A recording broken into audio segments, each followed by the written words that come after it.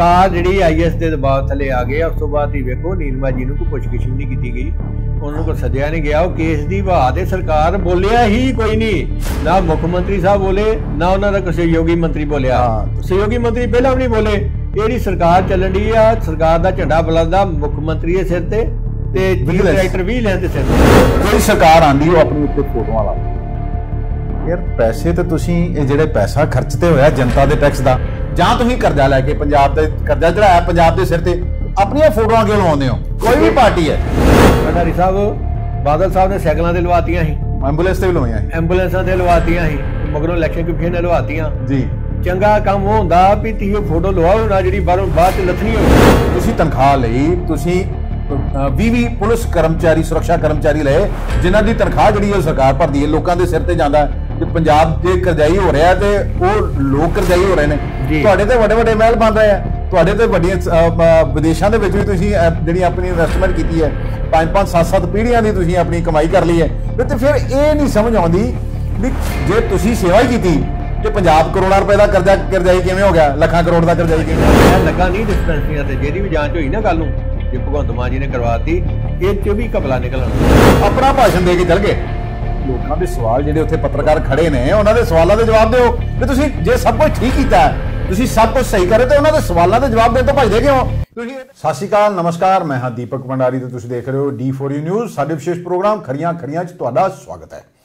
ਰਾਹੁਲ ਗਾਂਧੀ, ਜਿਨ੍ਹਾਂ ਨੇ ਕਿ ਭਾਰਤ ਜੋੜੋ ਯਾਤਰਾ ਸ਼ੁਰੂ ਕੀਤੀ ਸੀ ਕੱਲ ਉਹਨਾਂ ਦੀ ਯਾਤਰਾ ਦਾ ਜਿਹੜਾ ਉਹ ਸਮਾਪਨ ਕਰਤਾ ਗਿਆ ਹੈ। ਕਸ਼ਮੀਰ ਦੇ ਲਾਲ ਚੌਂਕ 'ਚ ਉਹਨਾਂ ਨੇ ਝੰਡਾ ਫਹਿਰਾਇਆ ਹਜ਼ਾਰਾਂ ਕਿਲੋਮੀਟਰ ਬੰਦੇ ਨੇ ਦੇਖੋ ਯਾਤਰਾ ਕੀਤੀ ਹੈ ਸਿਰਫ ਇੱਕ ਸੋਚ ਨੂੰ ਲੈ ਕੇ ਵੀ ਸ਼ਾਇਦ ਕਾਂਗਰਸ ਮਜ਼ਬੂਤ ਹੋ ਜਾਏ ਤੇ 2024 ਦੇ ਇਲੈਕਸ਼ਨਾਂ 'ਚ ਕਾਂਗਰਸ ਨੂੰ ਬਹੁਮਤ ਮਿਲੇ ਤੇ ਮੈਂ ਪ੍ਰਧਾਨ ਮੰਤਰੀ ਬਣ ਜਾਵਾਂ। ਪਰ ਜੇ ਅਸੀਂ ਪੰਜਾਬ ਦੇ ਲੀਡਰਾਂ ਵੱਲ ਵੇਖੀਏ, ਜਿਸ ਤਰ੍ਹਾਂ ਪੰਜਾਬ ਦੇ ਲੀਡਰਾਂ ਤੇ ਆਮ ਆਦਮੀ ਪਾਰਟੀ ਸਰਕਾਰ ਵੱਲੋਂ ਲਗਾਤਾਰ ਸ਼ਿਕੰਜਾ ਕੱਸਿਆ ਜਾ ਰਿਹਾ ਹੈ, ਕਈ ਕੈਪਟਨ ਸਰਕਾਰ ਦੇ ਵਿੱਚ ਵਜ਼ੀਰ ਰਹਿ ਚੁੱਕੇ ਕਈ ਐਸੇ ਮੰਤਰੀ ਨੇ ਜਿਨ੍ਹਾਂ ਤੇ ਵਿਜੀਲੈਂਸ ਨੇ ਸ਼ਿਕੰਜਾ ਕਸਤਾ ਹੈ, ਕਈ ਤੇ ਜੇਲ੍ਹ 'ਚ ਨੇ। ਤੇ ਕਈਆਂ ਦੀ ਵਾਰੀ-ਵਾਰੀ ਜਾਂਚ ਹੋ ਰਹੀ ਹੈ ਸਾਬਕਾ ਉਪ ਮੁੱਖ ਮੰਤਰੀ ਉਹ ਵੀ ਵਿਜੀਲੈਂਸ ਦੇ ਰਡਾਰ ਤੇ ਨੇ। ਇੱਕ ਇੱਕ ਕਰਕੇ ਜਿਹੜਾ ਲੀਡਰਾਂ ਤੇ ਸ਼ਿਕੰਜਾ ਕੱਸਿਆ ਜਾ ਰਿਹਾ ਹੈ, ਸਪੋਰਟਸ ਘੋਟਾਲਾ ਸਾਹਮਣੇ ਆ ਰਿਹਾ ਹੈ। ਕੋਈ ਦਿਨ ਐਸਾ ਨਹੀਂ ਜਾਂਦਾ ਜਿਸ ਦਿਨ ਕੋਈ ਨਾ ਕੋਈ ਰਿਸ਼ਵਤਖੋਰ ਅਫਸਰ ਵਿਜੀਲੈਂਸ ਨੇ ਨਾ ਫੜਿਆ ਹੋਵੇ। ਇੱਕ ਈਓ, ਗਮਾਡਾ ਦਾ ਈਓ ਸੀ, ਉਹਦੀ ਤੁਸੀਂ ਜੇ ਉਹਦੀ ਜਾਇਦਾਦ ਦੀ ਡਿਟੇਲ ਸੁਣੋਗੇ ਤੇ ਤੁਸੀਂ ਹੈਰਾਨ ਹੋਵੋਗੇ ਕਿ 50 60 70 ਹਜ਼ਾਰ ਰੁਪਇਆ ਤਨਖਾਹ ਲੈਣ ਵਾਲਾ ਅਧਿਕਾਰੀ ਕਰੋੜਾਪਤੀ ਵੀ ਹੋ ਸਕਦਾ ਹੈ। ਸਾਲ ਨਾਲ ਨੇ ਹਮੇਸ਼ਾ ਤਰ੍ਹਾਂ ਸਾਡੇ ਐਕਸਪਰਟ ਰਕੇਸ਼ ਸ਼ਰਮਾ ਸ਼ਰਮਾ ਜੀ ਨਮਸਕਾਰ। ਨਮਸਕਾਰ ਭੰਡਾਰੀ ਸਾਹਿਬ। ਸ਼ਰਮਾ ਜੀ ਪਹਿਲੀ ਖਬਰ ਤੇ ਰਾਹੁਲ ਗਾਂਧੀ ਨੂੰ ਲੈ ਕੇ ਦੇਖੋ ਬੰਦਾ ਸਤੰਬਰ 'ਚ ਯਾਤਰਾ ਕਰਨੀ ਸ਼ੁਰੂ ਕਰਦਾ ਹੈ ਤੇ ਹਜ਼ਾਰਾਂ ਕਿਲੋਮੀਟਰ ਪੈਦਲ ਤੁਰਦਾ ਹੈ। ਲੋਕਾਂ ਨੂੰ ਮਿਲਦਾ ਹੈ 100 ਦੇ ਕਰੀਬ ਪ੍ਰੈਸ ਕਾਨਫਰੰਸਾਂ ਉਹ ਕਰਦਾ ਹੈ ਕਿਸਾਨਾਂ ਨੂੰ ਉਦਯੋਗਪਤੀਆਂ ਨੂੰ। ਕੱਲ ਉੱਥੇ ਕਸ਼ਮੀਰ ਦੇ ਵਿੱਚ ਉਹਨਾਂ ਨੇ ਆਪਣੀ ਯਾਤਰਾ ਨੂੰ ਵਿਰਾਮ ਦੇ ਦਿੱਤਾ। ਜੀ। ਪਰ ਜਿਸ ਤਰ੍ਹਾਂ ਇਹ ਕਿਆ ਹੁਣ ਜਿਸ ਤਰ੍ਹਾਂ ਲੋਕਾਂ ਦੇ ਸਾਹਮਣੇ ਕੁਝ ਸੱਚਾਈਆਂ ਆ ਰਹੀਆਂ ਕਿਆ ਲਗਾਤਾਰ ਕਈ ਲੀਡਰ ਅੰਦਰ ਹੈ ਹਜ਼ਾਰਾਂ ਕਰੋੜ ਰੁਪਏ ਦੇ ਘੁਟਾਲੇ ਤੇ ਆਰੋਪ ਲੱਗੇ ਹੈ ਵੀ ਲੋਕਾਂ ਨੂੰ ਕਿਤੇ ਨਾ ਕਿਤੇ ਇਹ ਤਾਂ ਨਹੀਂ ਵੀ ਇਹਦੀ ਯਾਤਰਾ ਜਿਹੜੀ ਹੈ ਵਿਚਾਰੇ ਦੀ ਲੱਤਾਂ 'ਚ ਖਲੀਆਂ ਖੁੱਲੀਆਂ ਬਥੇਰੀਆਂ ਪੈ ਗਈਆਂ ਹੋਣੀਆਂ ਉਹਨਾਂ ਦੇ, ਰਾਹੁਲ ਗਾਂਧੀ ਉਹਨਾਂ ਦੇ। ਤੇ ਯਾਤਰਾ ਨੂੰ ਉਹਦੀ ਸਫਲ ਹੋਏਗੀ ਜਾਂ ਨਹੀਂ ਹੋਏਗੀ ਵਿਜੀਲੈਂਸ ਜੋ ਕਰ ਰਹੀ ਹੈ ਪੰਜਾਬ ਦੀ ਜੇ ਅਸੀਂ ਗੱਲ ਕਰੀਏ, ਕਿਉਂਕਿ ਅਸੀਂ ਪੰਜਾਬ 'ਚ ਰਹਿੰਦੇ ਆ ਪੰਜਾਬ ਦਾ ਜ਼ਿਆਦਾ ਫੋਕਸ ਹੈ ਉਹ ਇੱਕ ਇੱਕ ਕਰਕੇ ਮੈਂ ਚਾਹਾਂਗਾ ਤੁਸੀਂ ਥੋੜਾ ਚਾਨਣਾ ਪਾਓ ਦਰਸ਼ਕਾਂ ਨੂੰ ਦੱਸੋ ਵੀ ਕਿਸ ਤਰ੍ਹਾਂ ਸ਼ੁਰੂ ਹੋਇਆ ਤੇ ਕਿਹੜੇ ਕਿਹੜੇ ਅਧਿਕਾਰੀ ਜਿਹੜੇ ਜਿਹੜੇ ਮੰਤਰੀ ਹੈ ਸਾਬਕਾ ਰਹਿ ਚੁੱਕੇ ਜਿਹੜੇ ਕਿ ਜਿਨ੍ਹਾਂ ਦੇ ਘਰ ਦੇ ਬਾਹਰ ਮੈਂ ਅਫਸਰ ਖਲੋਤੇ ਦੇਖੇ ਨੇ ਉਹਨਾਂ ਦਾ ਉਹਨਾਂ ਦੀ ਕਹਿ ਲਓ ਕਿ ਪਬਲਿਕ ਰਿਲੇਸ਼ਨ ਅਫਸਰ ਉਹਨਾਂ ਦੇ ਬਣੇ ਹੋਏ ਸੀਗੇ। ਬਿਲਕੁਲ ਤੁਹਾਡੀ ਗੱਲ ਠੀਕ ਆ। ਰਾਹੁਲ ਗਾਂਧੀ ਜੀ ਨੇ ਭਾਰਤ ਜੋੜੋ ਯਾਤਰਾ ਕੀਤੀ ਕੰਨਿਆ ਕੁਮਾਰੀ ਤੋਂ ਕਸ਼ਮੀਰ ਤੱਕ ਗਏ। ਜੀ ਕਸ਼ਮੀਰ ਜਾ ਕੇ ਝੰਡਾ ਚੜਾਇਆ ਤਿਰੰਗੇ ਦੀ ਸ਼ਾਨ ਵਧਾਈ। ਜੀ। ਬਹੁਤ ਵਧੀਆ ਕੰਮ ਕੀਤਾ ਹਜ਼ਾਰਾਂ ਕਿਲੋਮੀਟਰ ਪੈਦਲ ਚਲੇ। ਬਰਫ਼ ਦੇ ਵਿੱਚ ਠੰਡ ਦੇ ਵਿੱਚ ਟੀ-ਸ਼ਰਟ ਪਾ ਕੇ ਦੇ। ਹਾਂ। ਸਭ ਤੋਂ ਵੱਡੀ ਗੱਲ ਉਹਨਾਂ ਦੀ। ਇਹ ਆ ਉਹਨਾਂ ਨੂੰ ਕੋਈ ਠੰਡ ਨਹੀਂ ਲੱਗੀ ਤੇ ਮੇਰਾ ਖਿਆਲ ਹੈ ਸ਼ਾਇਦ ਹੀ ਕੋਈ ਇਦਾਂ ਦਾ ਲੀਡਰ ਹੋਵੇ ਜਿਹਨੇ ਏਡੀ ਕੋਈ ਯਾਤਰਾ ਕੀਤੀ ਹੋਵੇ ਦੇਸ਼ ਨੂੰ ਜੋੜਨ ਵਾਸਤੇ। ਪੈਦਲ ਯਾਤਰਾ ਨਹੀਂ। ਪੈਦਲ ਯਾਤਰਾ। ਜੀ ਜੀ। ਹੁਣ ਇਹਨਾਂ ਦੀ ਸਾਰੀ ਕੀਤੀ ਕਰਾਈ ਤੇ ਜਿਹੜੀ ਪੰਜਾਬ ਕਾਂਗਰਸ ਆ ਉਹਦੇ ਜਿਹੜੇ ਸਾਬਕਾ ਮੰਤਰੀ ਰਹੇ ਆ ਕੈਬਨਿਟ ਉਹਨਾਂ ਪਾਣੀ ਫਿਰ ਛੱਡਿਆ। ਅਧਿਕ ਕੈਬਨਿਟ ਜਿਹੜੀ ਆ ਜੇਲ੍ਹਾਂ ਦੇ ਵਿੱਚ ਤੇ ਕੋਰਟਾਂ ਦੇ ਚੱਕਰਾਂ 'ਚ ਲਾ ਰਹੇ ਆ ਅੱਧੀਆਂ ਕਦੇ ਇਨਕੁਆਇਰੀ ਚੱਲਣ ਦੀ ਆ। ਅੱਧੇ ਕਿ ਜ਼ਿਆਦਾ ਵਿੱਚੋਂ ਬੀਜੇਪੀ 'ਚ ਚੱਲ ਗਏ ਆ ਵੀ ਸ਼ਾਇਦ ਬਾਜੀਏ ਕਿਸੇ ਕਰਕੇ। ਹੁਣ ਤੁਸੀਂ ਵੇਖੋ ਵੀ ਇਹ ਜਿਹੜਾ ਸਾਰਾ ਮਸਲਾ ਸਾਧੂ ਸਿੰਘ ਧਰਮਸੋਤ ਜੀ ਤੋਂ ਸ਼ੁਰੂ ਹੋਇਆ ਸੀ ਜੀ। ਜਿਹੜੇ ਵ੍ਰਿਕਸ਼ ਕੱਟਣ ਦੇ 500 ਰੁਪਏ ਪ੍ਰਤੀ ਵ੍ਰਿਕਸ਼ ਹਰ ਵ੍ਰਿਕਸ਼ ਤੇ ਲਿਖਦੇ ਹੁੰਦੇ ਜੀ ਜੀ। ਉਹ ਚਲ ਗਏ ਜੇਲ੍ਹ 'ਚ ਅਜੇ ਉਹਨਾਂ ਸਕਾਲਰਸ਼ਿਪ ਘਟਾਲੇ ਦੇ ਵੀ ਰੋਪ ਉਹਨਾਂ ਦੇ ਉੱਤੇ। ਫਿਰ ਇਹਨਾਂ ਦੇ ਨਾਲ ਹੀ ਸੰਗਤ ਸਿੰਘ ਗਿੱਲੀਆ ਜੀ। ਉਹਨਾਂ ਦੇ ਟਰੀ ਗਾਰਡ ਦੇ ਕਮਿਸ਼ਨ ਲੈਣ ਦਾ ਰੋਪ ਸੀ। ਉਹ ਜਿਹੜੇ ਹੈਗੇ ਜ਼ਮਾਨਤ ਆ ਉਹਨਾਂ ਨੇ ਐਂਟੀਸਪੇਟੀ ਬੇਲ ਹੋ ਗਈ ਸੀ। ਉਸ ਤੋਂ ਬਾਅਦ ਆ ਗਏ ਭਾਰਤ ਭੂਸ਼ਣ ਅਰੋੜਾ ਜੀ। ਭਾਰਤ ਆਸ਼ੂ। ਆਸ਼ੂ ਜੀ। ਜੀ। ਉਹਨਾਂ 2000 ਕਰੋੜ ਦਾ ਟੈਂਡਰ ਘਟਾਲਾ ਉਹ ਚੋਰੀ ਵੀ ਅੰਦਰ ਹੈਗੇ ਆ। ਉਹਨਾਂ ਦੇ ਸਹਿਯੋਗੀ ਵੀ ਬੀਜੇਪੀ ਜਿਹੜੇ ਉਹ ਵੀ ਅੰਦਰ ਆ। ਫਿਰ ਸੁੰਦਰ ਸ਼ਾਮ ਅਰੋੜਾ ਜੀ ਆ ਗਏ। ਉਹ ਬੀਜੇਪੀ ਜਾ ਚੁੱਕੇ ਆ। ਤੇ 50 ਲੱਖ ਰਿਸ਼ਵਤ ਦੇਣ ਵੀ ਗਏ ਸੀ ਇਹ ਜੀ ਮਨਮੋਹਨ ਸਿੰਘ ਨਾਲ ਨੂੰ। ਮਨਮੋਹਨ ਸ਼ਰਮਾ ਜੀ ਨੂੰ ਮਨਮੋਹਨ ਸ਼ਰਮਾ ਤੇ ਮਨਮੋਹਨ ਸ਼ਰਮਾ ਜੀ ਨਾਲ ਨੇ ਅਗੋਂ ਜੀ ਨਾਲ ਗੱਲ ਕੀਤੀ ਤੇ ਉਹਨਾਂ ਮੁੱਖ ਮੰਤਰੀ ਨਾਲ ਸੰਪਰਕ ਕਰਕੇ ਤੇ ਇਹਨਾਂ ਨੂੰ ਰੰਗੇ ਹੱਥੀਂ ਰਿਸ਼ਵਤ ਦਿੰਦਿਆਂ ਫੜ ਲਿਆ। ਇਹਨਾਂ ਦੇ ਜਿਹੜੇ ਆ Punjab state industrial export corporation plot ਘਟਾਲੇ ਦਾ ਵੀ ਕੇਸ ਚੱਲ ਰਿਹਾ। ਜੀ ਜੀ ਜੀ। ਡਿਸਪ੍ਰੋਪੋਰਸ਼ਨੇਟ ਅਸੈਟਸ ਦਾ ਵੀ ਕੇਸ ਚੱਲ ਰਿਹਾ। ਹੁਣ ਵੇਖੋ ਮਨਪ੍ਰੀਤ ਬਾਦਲ ਤੇ ਨਹੀਂ ਇਹਦੇ ਕੇਸ ਨਹੀਂ ਚੱਲ ਰਿਹਾ ਇਹਨਾਂ ਦੀ ਜਾਂਚ ਹੀ ਚੱਲ ਰਹੀ ਹੈ ਜੇ ਉਹਨਾਂ ਤੇ। ਹਾਂ ਮਨਪ੍ਰੀਤ ਬਾਦਲ ਜੀ ਆ ਗਏ। ਇਹਨਾਂ ਤੇ ਵੀ ਇਹਨਾਂ ਦੇ ਇੱਕ ਕਲੋਜ਼ ਰਿਸ਼ਤੇਦਾਰ ਤੇ ਬੀਜੇਪੀ ਜਲ ਗਏ ਆ। ਜੀ। ਉਹ ਜੋ ਜੋ ਜੋ ਜੋ ਟੈਕਸ ਦੀ ਗੱਲ ਹੋਈ ਸੀ। ਗੱਲ ਹੁੰਦੀ ਹੈ ਹੋ ਗਿਆ। ਹੁਣ ਕੈਪਟਨ ਮਰਿੰਦਰ ਸਿੰਘ ਪਹਿਲਾਂ ਇਹਨਾਂ ਨੂੰ ਛੱਡ ਗਏ ਸੀ। ਔਰ ਰਾਣਾ ਸੋਢੀ ਜੀ ਉਹ ਵੀ ਬੀਜੇਪੀ ਚਲ ਗਏ। ਸੁਨੀਲ ਜਾਖੜ ਜੀ ਬੀਜੇਪੀ ਜੀ ਚਲ ਗਏ। ਹੁਣ ਇਹਨਾਂ ਦੇ ਗੁਰਪ੍ਰੀਤ ਕਾਂਗੜ ਤੇ ਵਿਜੇ ਇੰਦਰ ਸਿੰਗਲਾ ਦੇ ਉਹ ਤੇ ਵੀ ਡਿਸਪ੍ਰੇਸ ਪ੍ਰੋਪੋਰਸ਼ਨੇਟ ਅਸੈਟਸ ਆਮਦਨ ਤੋਂ ਜ਼ਿਆਦਾ ਬਣਾਉਣ ਦੀ ਜਾਂਚ ਜਿਹੜੀ ਆ ਉਹ ਤਲਵਾਰ ਲਟਕ ਰਹੀ ਇਹਨਾਂ ਦੀ, ਜੀ, ਫਿਰ ਆ ਗਏ ਬਲਬੀਰ ਸਿੰਘ ਸਿੱਧੂ ਜੀ। ਉਹਨਾਂ ਦੇ ਉੱਤੇ ਵੀ ਜਾਂਚ ਚੱਲ ਰਹੀ ਆ। ਹੁਣ ਵੇਖੋ ਕੱਲ ਹੀ ਤੁਹਾਨੂੰ ਪਤਾ ਸੀ ਇਹ ਫਿਰ ਐਮਐਲਏ ਹੀ ਵਰਿੰਦਰਜੀਤ ਪਹਾੜਾ ਜੀ। ਜੀ। ਉਹਨਾਂ ਦੇ ਵੀ ਇਹੋ ਹੀ ਜਾਂਚ ਚੱਲਣ ਦੀ ਆ। ਹੁਣ ਕੱਲ ਕੁਸ਼ਲਦੀਪ ਹੈਗੇ ਸੀ ਕਿੱਕੀ ਢਿੱਲੋਂ ਫਰੀਦਕੋਟ ਦੇ। ਉਹਨਾਂ ਨੂੰ ਵਿਜੀਲੈਂਸ ਨੇ ਮਿਲਾਇਆ ਸੀ। ਆਮਦਨ ਤੋਂ ਬਾਅਦ ਜਾਇਦਾਦ ਦਾ ਕੇਸ ਹੈਗਾ ਸੀ। ਹੁਣ ਡਿਪਟੀ ਸੀਐਮ ਸਾਹਿਬ ਜਿਨ੍ਹਾਂ ਨੇ ਆਲੀਸ਼ਾਨ ਉਹਨਾਂ ਦੇ ਵੀ ਡਿਸਪ੍ਰੋਪੋਰਸ਼ਨੇਟ ਅਸੈਟਸ ਦਾ ਕੇਸ ਚੱਲ ਰਿਹਾ ਸੋਨੀ ਸਾਹਿਬ ਤੇ। ਜਾਂਚ ਚੱਲ ਰਹੀ ਹੈ। ਜਾਂਚ ਚੱਲ- ਜਾਂਚ ਚੱਲ ਰਹੀ ਆ। ਇਨਕੁਆਇਰੀ ਚੱਲ ਰਹੀ ਆ। ਜੀ। ਇਨਕੁਆਇਰੀ ਹੈਗੀ ਆ। ਉਹ ਜਾਂਚ ਚੱਲਣ ਦੀ ਆ ਉਹਨਾਂ ਦੀ ਕੱਲ ਮਹਿਲਨੁਮਾ ਕੋਠੀ ਜਿਹੜੀ ਦੱਸੀ ਜਾਂਦੀ ਆ ਉਹਦੀ ਪਮਾਇਸ਼ ਹੋਈ ਸੀ। ਅੱਜ ਉਹਨਾਂ ਦੇ ਹੋਟਲ 'ਚ ਵਿਜੀਨੈਸ ਦੀ ਟੈਕਨੀਕਲ ਟੀਮ ਪਹੁੰਚੀ ਚੰਡੀਗੜ੍ਹ ਦੇ ਉੱਤੋਂ ਜੀ। ਹੋਟਲ ਦੀ ਪਮਾਇਸ਼ ਹੋ ਰਹੀ ਆ। ਇਹਨਾਂ ਦੇ ਫਿਰ ਵੇਖੋ ਤਿੰਨਾਂ ਪ੍ਰੋਮੋਟ ਟਰਸਟਾਂ ਦੇ ਜਿਹੜੇ ਜਲੰਧਰ ਲੁਧਿਆਣਾ ਤੇ ਅੰਮ੍ਰਿਤਸਰ ਦੇ ਹੈਗੇ ਚੇਅਰਮੈਨ ਜੀ। ਉਹਨਾਂ ਦੀ ਵੀ ਜਾਂਚ ਚੱਲ ਰਹੀ ਆ। ਇੱਕ ਦਾ ਅੰਦਰ ਆ ਇੱਕ ਦਾ ਜ਼ਮਾਨਤ ਤੇ ਆ। ਤੇ ਸਾਰੀ ਕਾਂਗਰਸ ਦੇ ਉੱਤੇ ਤੇ ਇਹੋ ਹੀ ਕੰਮ ਚੱਲਣ ਡਿਆ ਜੇ। ਜੀ। ਤੇ ਵੇਖੋ ਨਾ ਸਾਰੀ ਕਾਂਗਰਸ ਤੇ ਇਹੋ ਹੀ ਕੰਮ ਚੱਲਣ ਡਿਆ। ਹੁਣ ਸੋਨੀ ਸਾਹਿਬ ਦੀ ਅੱਜ ਹੋਟਲ ਦੀ ਪਮਾਇਸ਼ ਹੋ ਰਹੀ ਆ। ਜੀ। ਹੁਣ ਸੋਨੀ ਸਾਹਿਬ ਕਹਿੰਦੇ ਵੀ ਮੈਂ ਜਿੰਨੀ ਵੀ ਆਮਦਨ ਆ ਮੈਂ ਸ਼ੇਰੀ ਇਲੈਕਸ਼ਨ ਲੜ ਚੁੱਕਾ। ਮੈਂ ਹਮੇਸ਼ਾ ਹੀ ਦਿਖਾਣਾ ਐਫੀਡੇਵਿਟ ਫਾਈਲ ਕਰਦਾ। ਜਦੋਂ ਜੀ। 2007 ਚ ਇਹਨਾਂ ਦੀ ਜਾਇਦਾਦ ਹੀ 1 ਕਰੋੜ ਦੀ। ਤੇ 2022 ਚ ਆ ਕੇ 16 ਕਰੋੜ ਤੇ 98 ਲੱਖ ਦੀ ਹੋ ਗਈ। ਜੀ। 6 ਕਰੋੜ ਦੱਸਦੇ ਆ ਵੀ ਇਹਨਾਂ ਦੀ ਵਾਈਫ ਦੇ ਨਾਂ ਤੇ ਆ। 1.5 ਕਿਲੋ ਸੋਨਾ ਪਤਨੀ ਕੋਲ ਆ। ਤੇ 750 ਗ੍ਰਾਮ ਸੋਨਾ ਸੋਨੀ ਸਾਹਿਬ ਕੋਲ ਚਲੋ ਸੋਨੀ ਸਾਹਿਬ ਦਾ ਚੰਗਾ ਵੱਟ ਤੇ ਤਾਰਾ ਤੁਣਾ ਲਾਉਣ ਦਾ ਕੰਮ ਹੀ ਵਪਾਰ ਚੰਗਾ ਕਰਦੇ ਸੀ। ਵਪਾਰ 'ਚ ਪੈਸੇ ਵੱਧਦੇ ਹੀ ਆ।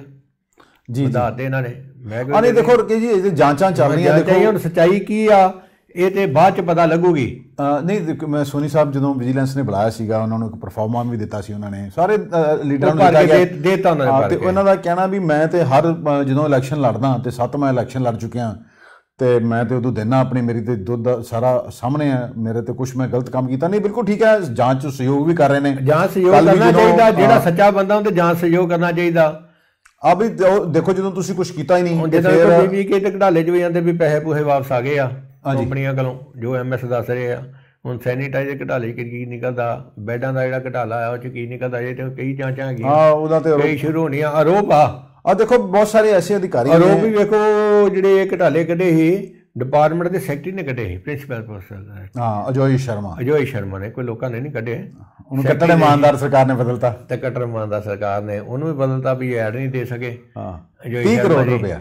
10 ਉਹਦੇ ਵੀ ਕਰੋੜ ਕਹਿੰਦਾ 10 ਦਾੜੀ ਨਾਲ ਮੁੱਛਾਂ ਵੱਡੀਆਂ। ਤੁਸੀਂ ਵੇਖੋ ਨਾ ਜਿਹੜੇ ਮਹੱਲਾ ਕਲੀਨਿਕ ਹੈਗੇ ਆ ਸ਼ੁਰੂ ਕੀਤੇ। ਜੀ। 15 ਦਾ ਉਦਘਾਟਨ ਕੀਤਾ। ਜੀ। ਇੱਥੇ ਸੀਐਮ ਸਾਹਿਬ ਨੇ ਤੇ ਤਿੰਨ ਅਜੇ ਸ਼ੁਰੂ ਨਹੀਂ ਹੋਏ। ਦੋ ਦੀਆਂ ਬਿਲਡਿੰਗਾਂ ਜੇ ਬਣ ਰਹੀਆਂ ਕਿਸੇ ਦਾ ਇਲੈਕਟ੍ਰੀਸ਼ੀਅਨ ਦਾ ਕੰਮ ਰਹਿੰਦਾ ਕਿਸੇ ਦਾ ਸਮਾਨ ਉੱਥੇ ਖੁੱਲੇ 'ਚ ਪਿਆ। ਇਹਨਾਂ ਨੂੰ ਚਾਹੀਦਾ ਹੀ ਵੇਖੋ ਬੜਾ ਵਧੀਆ ਸਟੈਪ ਆ ਚਲੋ ਤੁਸੀਂ ਮਹੱਲਾ ਕਲੀਨਿਕ ਸ਼ੁਰੂ ਕਰਨ ਲੱਗੇ ਜੇ। ਡਿਸਪੈਂਸਰੀਆਂ ਜਿੱਥੇ ਨਹੀਂ ਲੋਕ ਜਾਂਦੇ ਉਥੇ ਤੁਸੀਂ ਕੰਮ ਕਰਨ ਲੱਗੇ ਜੇ ਵਧੀਆ ਕੰਮ ਕਰਨ ਲੱਗੇ ਜੇ ਦਵਾਈਆਂ ਦੇਣ ਲੱਗੇ ਡਾਕਟਰ ਉਪਲਬਧ ਕਰਾਏ ਆ। ਡਾਕਟਰ ਪਰ ਤੁਸੀਂ ਇੱਧਰੋਂ ਉਧਰੋਂ ਪੁੱਟ ਕੇ ਕਰਾਏ। ਪਹਿਲਾਂ ਸਭ ਤੋਂ ਪਹਿਲਾਂ ਕੰਮ ਹੁੰਦਾ ਜ਼ਿਲ੍ਹਾ ਪੱਧਰੀ ਹਸਪਤਾਲ ਜਿੱਥੇ ਸੀਰੀਅਸ ਮਰੀਜ਼ ਜਾਣੇ ਆ ਉੱਥੇ ਡਾਕਟਰ ਉਪਲਬਧ ਕਰਾਓ। ਜੀ। ਇਹਨਾਂ ਨੂੰ ਭਰਤੀ ਕੀਤੀ 6 ਡਾਕਟਰ 2 ਡਾਕਟਰ ਜੁਆਇਨ ਕੀਤੇ ਜੀ 4 ਕੀਤੇ ਨਹੀਂ। ਜੀ ਜੀ। ਅਜੇ ਵੀ ਮੈਡੀਕਲ ਸਪੈਸ਼ਲਿਸਟ ਸਿਵਲ ਹਸਪਤਾਲ ਅੰਮ੍ਰਿਤਸਰ ਚ ਨਹੀਂ ਹੈਗਾ ਸਾਈਕੈਟ੍ਰਿਸਟ ਨਹੀਂ ਹੈਗਾ ਰੇਡੀਓਲੋਜਿਸਟ ਨਹੀਂ ਹੈਗਾ। ਜਦੋਂ ਇਦਾਂ ਦੇ ਬੰਦੇ ਜਿਨ੍ਹਾਂ ਦੀ ਹਰ ਇੱਕ ਨੂੰ ਜ਼ਰੂਰਤ ਆ ਉਹ ਉੱਥੇ ਹੈਗੇ ਹੀ ਨਹੀਂ। ਸਿਵਲ ਹਸਪਤਾਲ ਸਰਜਰੀ ਫ੍ਰੀ ਕਰੋ। ਜਿੰਨੀ ਜਨਰਲ ਸਰਜਰੀ ਹੁੰਦੀ ਹੈ ਨਾ ਫ੍ਰੀ ਕਰਨੀ ਚਾਹੀਦੀ ਅੱਗੇ ਆ ਜੀ ਮੈਂ ਨਾ ਇਹਨਾਂ ਦੇਖੋ ਤੇ ਮਹੱਲਾ ਕਲੀਨਿਕ ਬਾਅਦ ਚ ਚਲਾਓ। ਆ ਦੇਖੋ ਮੈਂ ਨਾ ਇਹਨਾਂ ਦੀ ਸੁਣ ਰਿਹਾ ਸੀ ਪਹਿਲੇ ਤੇ ਦੇਖੋ ਬਹੁਤ ਵਿਪਕਸ਼ ਵੱਲੋਂ ਵੀ ਆਰੋਪ ਲਾਏ ਗਏ ਆ ਵੀ ਖੰਡਰ ਹੋ ਗਈਆਂ ਬਿਲਡਿੰਗਾਂ। ਤੇ ਉਹ ਖੰਡਰ ਹੋ ਗਈਆਂ ਬਿਲਡਿੰਗਾਂ ਤੇ ਲੱਗਿਆ ਮਾਨ ਸਾਹਿਬ ਦਾ ਇੱਕ ਬਿਆਨ ਟਵੀਟ ਆ ਗਿਆ, ਉਹ ਕਹਿੰਦੇ ਵੀ, ਚੰਗਾ ਹੋਇਆ ਤੁਸੀਂ ਮੈਨੂੰ ਚੇਤਾ ਕਰਾਤਾ ਵੀ ਖੰਡਰ ਹੋ ਗਈਆਂ। ਵੀ ਕਹਿੰਦੇ ਇਹ ਨਵੀਆਂ ਬਣੀਆਂ ਸੀ।